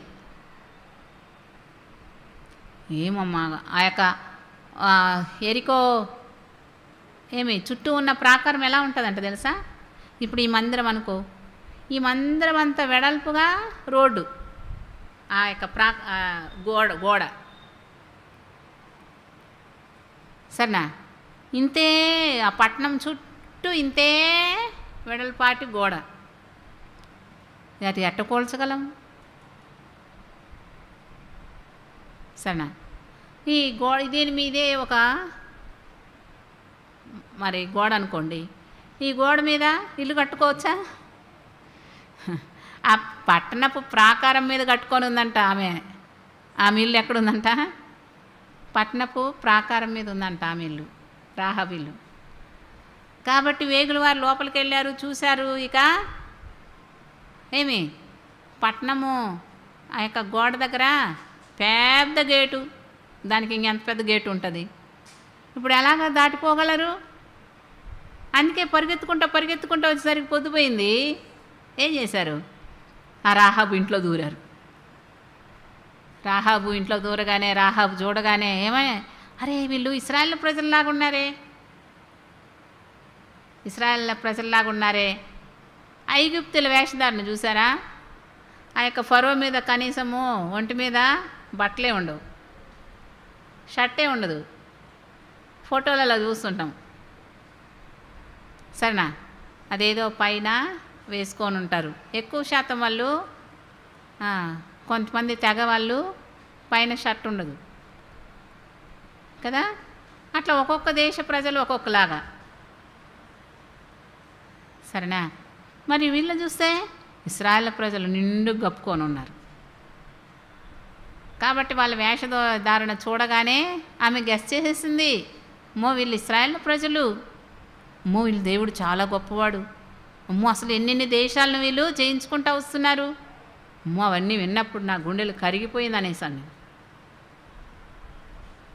చూసారా? మనల్ని చూస్తే ఎవరు క్రైస్తవులను గుర్తుపడతారు మనల్ని? కదా? మరి సాజ్ సుందర్ సింగ్ గారి గురించి వింటూ వచ్చా? మరి ఆయన్ను ఆయన యొక్క తీరు ఆయన యొక్క ఆయన చూడగానే యేసుప్రభును తలపించేటట్టు ఉంటుందట. సరేనా? అర్థమైందా? ఒకరోజు ఒక అమ్మాయి మరి మా సుందర్ సింగ్ గారు ఒక ఇంటికి వెళ్ళారంట విజిటింగ్కి. వెళ్తే ఆమె ఏం చేశారు? తలుపు తీయగానే ఆయన వచ్చారు కూర్చున్నారు. లోపలికి వచ్చి కూర్చున్నారు. వాళ్ళ ఇంట్లో ఒక చిన్న పాప ఏం చేసిందంట? పరిగెత్తుకుంటా వెళ్ళి మమ్మీ మమ్మీ యేసుప్రభు వచ్చాడు. ఎవరు వచ్చారు యేసుప్రభుని వచ్చారు అమ్మో ఏంటి యేసుప్రభు వచ్చారా? అని చూస్తే ఎవరు? సాత్ సుందర్ సింగ్ గారు. సరే ఆయన ఎక్కడికి వెళ్ళినా కూడా ఒకేలాగా ఉంటాడు. ఆయన ఎక్కడికి వెళ్ళినా కూడా ఒకేలాగా ఉంటారు. ఆయన పుస్తకాలు చదువుతుంటాం కదా ఒకే ఒక బ్యాగ్ ఉంటుందంట ఆయన దగ్గర. ఇక అంతే. ఆయన ఒకరోజు బస్ స్టాప్లో నిలబడి ఉంటే అంట ఫారిన్లో.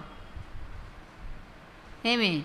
అది స్టాచ్యూ అనుకొని స్టాచ్యూ అంటే విగ్రహం అనుకొని దానికి ఒక ఆయన ఇట్లా బ్యాగ్ తగిలిచ్చాడంట. అంటే అలా నిలబడే ఉన్నాడంట. మరి ఆ బుక్లో రాసింది. ఆయన చేతిలో ఇంకా ఒకే డ్రెస్సు. ఒక డ్రెస్సే. సరేనా? మరి ఆయన జీవిత చరిత్ర చాలా బాగుంటుంది. అంత ఎక్కడెక్కడో కొండల్లో పర్వతాల్లో లోయల్లో ఎక్కడున్నా కూడా వేకునే లేచి ఆయన అక్కడున్నటువంటి చల్లని ఆ యొక్క నది నీళ్ళు వాటితో స్నానం చేసి సన్నా అలాగ తను ఇక దినమంతా దేవుడు చెప్పినట్టు ఆయన ఎక్కడెక్కడికి వెళ్ళాలో ఏం చేయాలో అన్నీ ఆయన ఆత్మ ఎక్కడెక్కడికి నడిపిస్తుందో అక్కడికంతా వెళ్ళి అలాగ పరిచర్య చేసేవాడు. మరి ఒకసారి ఆయన తీసుకెళ్ళి జలగలు ఉండే కదా ఆ బావిలో పడేశారు ఒకసారి. జలగలు ఉన్నాయి దాంట్లో. అవి కుట్టి కుట్టి పడేస్తే ఇకంతా రక్తం అంతా పీల్చేస్తుంది. అలాంటిది ఆ జలగలు ఏమి చేయలేదంట ఆయన మనం క- కరోనాకు పడి భయపడిపోతుంటాం. జలగలు ఉండే బావిలోనే పడేసారమ్మా ఆయన్ను సరేనా? అలాగ మనకు మనం ఏ విషయంలో కూడా భయపడకూడదు. మనం మనలో ఎవరుండేది? దేవుని ఆత్మ పరిశుద్ధ ఆత్మ ఆయన మనము ఏం చేయాలి? కవచంలాగా మనల్ని ఆయన అట్లా తన మహిమతో తన కేడెంతో గప్పినట్టు మన చుట్టూ ఆయన కోటగా ఉంటాడు. మనకు ఆయన మహాశ్రయ దుర్గంగా ఉంటాడు.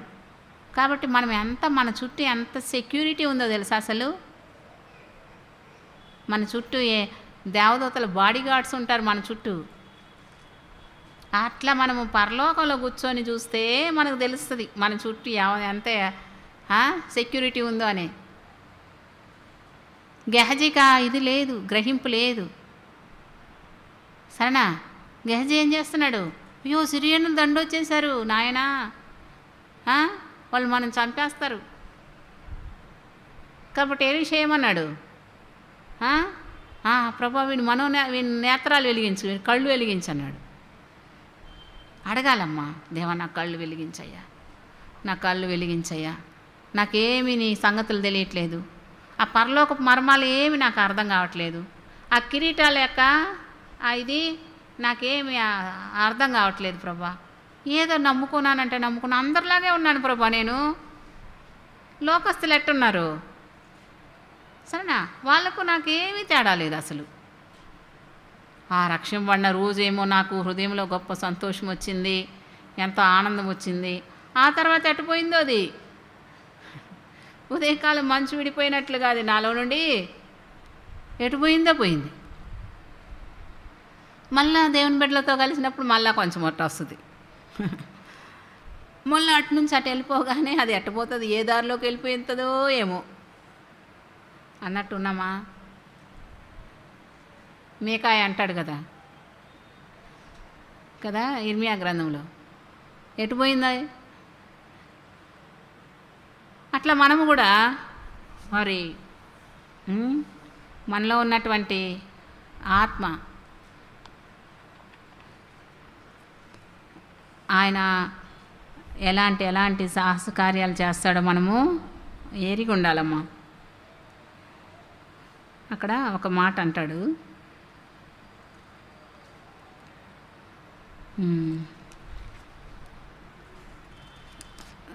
ఇర్మియా గ్రంథంలో ఉంటుంది. సరే. కాబట్టి మనలో ఉన్న ఆత్మ మనల్ని ఆయన మరి మనకిచ్చినటువంటి రక్షణ ఆయన మళ్ళీ తీసేసుకోడమ్మా.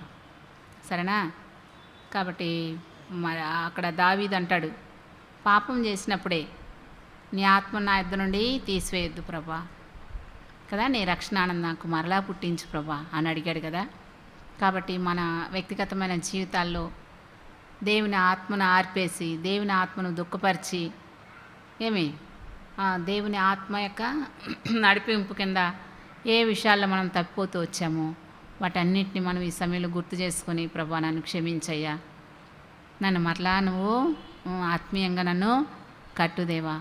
నేను ఏ పని చేసినా దావిదిలాగా నేను కూర్చున్నా లేచినా నిలబడ్డా మాట్లాడాలన్నా తలంచాలన్నా ఏ పని చేయాలన్నా నేను ఇక మీట నీ ఆత్మ స్వాధీనంలో ఉండి నేను నడుచుకునేటట్టుగా నాకు నీ చిత్తానుసారంగా నేను నడుచుకునేటట్టు సహాయం చేయ ప్రభా. ఏమి? నూట నలభై మూడో కీర్తన పదో అధ్యాయంలో ఏముంది జ్యోతి? చదువమ్మా ఒక మాట. నూట నలభై మూడు పది. నీవే నా దేవుడవు. నేను చెప్పేటప్పుడు పలకండి. నీవే నా నా దేవుడవు. నీ చిత్తానుసారముగా ప్రవర్తించుటకు నాకు నేర్పుము. దయగల నీ ఆత్మ. దేవుని ఆత్మ ఎటువంటిది? దయగలిగింది. దయగల నీ ఆత్మ. సమభూమి గల ప్రదేశములందు నన్ను నడిపించునుగాక నీకు ఆయన ఏం చేస్తాడు? ప్రతి పళ్ళాన్ని ప- ప్రతి ఎత్తును పూడ్ చేస్తాడు సరేనా? పర్వతమా నువ్వే పాటి దానివి? ఏమనుకుంటున్నావు ఈ పర్వతము? ఏం చేస్తాడు దాన్ని? చదును భూమిగా చేసేస్తాడు. ఎలాంటి కొండంత సమస్య అయినా పర్వతం అంతా సరేనా? అటువంటిదైనా ఎరికో గోడలు లాంటివైనా ఏం చేస్తారు ఊరికే తిరిగారమ్మ వాళ్ళు. ఊరికే తిరిగారు. ఏడు రోజులు తిరిగారు ఏడో రోజు గట్టి కేకలేశారు అంతే. స్థుతించారు ఏమైపోయింది గోడ? గోడ ఇప్పుడు? ఈ ఇది గోడ. ఏమి? ఇటు ఉంది కదా. ఈ ఇక్కడ చుట్టూ తిరుగుతున్నారు కదా ప్రజలు. ఈ గోడలే మామూలుగా ఇప్పుడు పగలు కొడితే ఎట్ట పడుతుంది? ఇలా పడాలా? ఇలా పడిపోవాలి? ఇలా పడితే ఇస్రాయల్ మీద పడుతుంది. అయితే ఈ గోడ ఎట్ట పడిందంట? ఇలా పడిపోయిందంట ఆ పట్టణం లోపలే. చూసావా? అలాగా. ఏమి ఎటువంటిదైనా కూడా దేవుడు ఏం చేస్తాడు? చదును భూమిగా చేసేస్తాడు. మనల్ని సమభూమి గల ప్రదేశంలో మనల్ని నడిపిస్తాడు. అలాగ మనం వీటన్నిటిని దాటుకుంటూ దాటుకుంటూ దాటుకుంటూ ఎక్కడికి వెళ్ళిపోతాం? ఆ పరలోకం ఇక యుగాయుగాలు ఇక ఆయనతో ఉండి ఉండబోతున్నాం. సరేనా? అలాగ ఉన్నట్లుగా ప్రభు మనకు సహాయం చేయనుగాక సిద్ధపరచునుగాక ప్రార్థన చేసుకుందాం.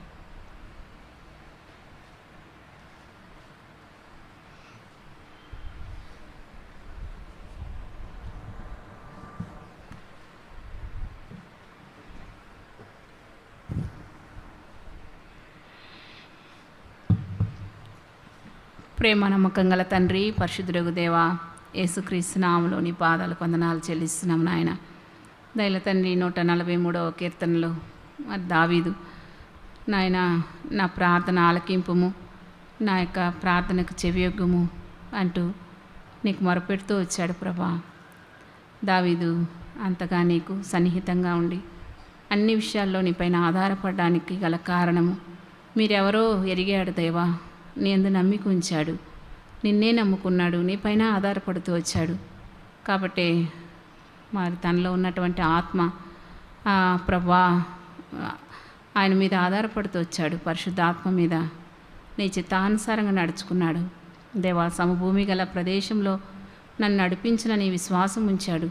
దేవా మేము కూడా అటువంటి విధానంలో తండ్రి నాయన జీవించడానికి మాకందరికీ సహాయం చేయమని వచ్చిన వీటిలందరూ కూడా ఆత్మతో నింపయ్యా మేము.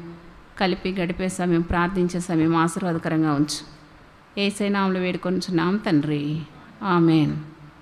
అమ్మ మరి ఈ రోజున మనము ముఖ్యంగా దేవుని యొక్క మందిరం కొరకై మనము సంఘంగా భారంగా ప్రార్థన చేస్తాం.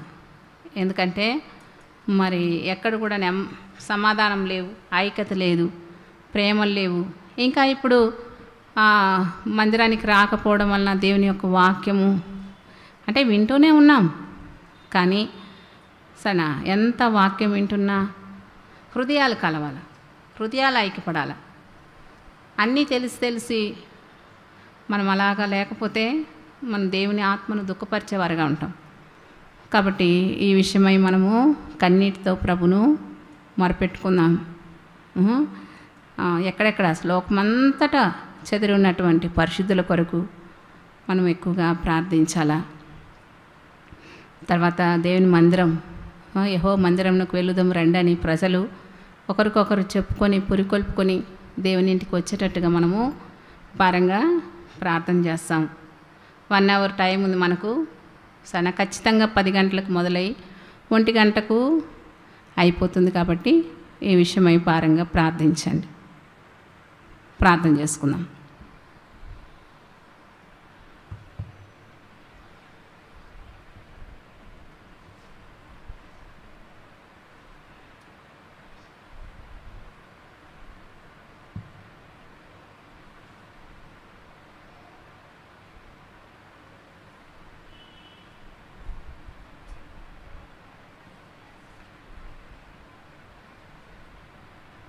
రక్షకుడైన యేసుక్రీస్తు వారి యొక్క అత్యున్నతమైన నామంలో నీ సన్నిధిలో సాగిలపడ్డకు నిలిచిన గొప్ప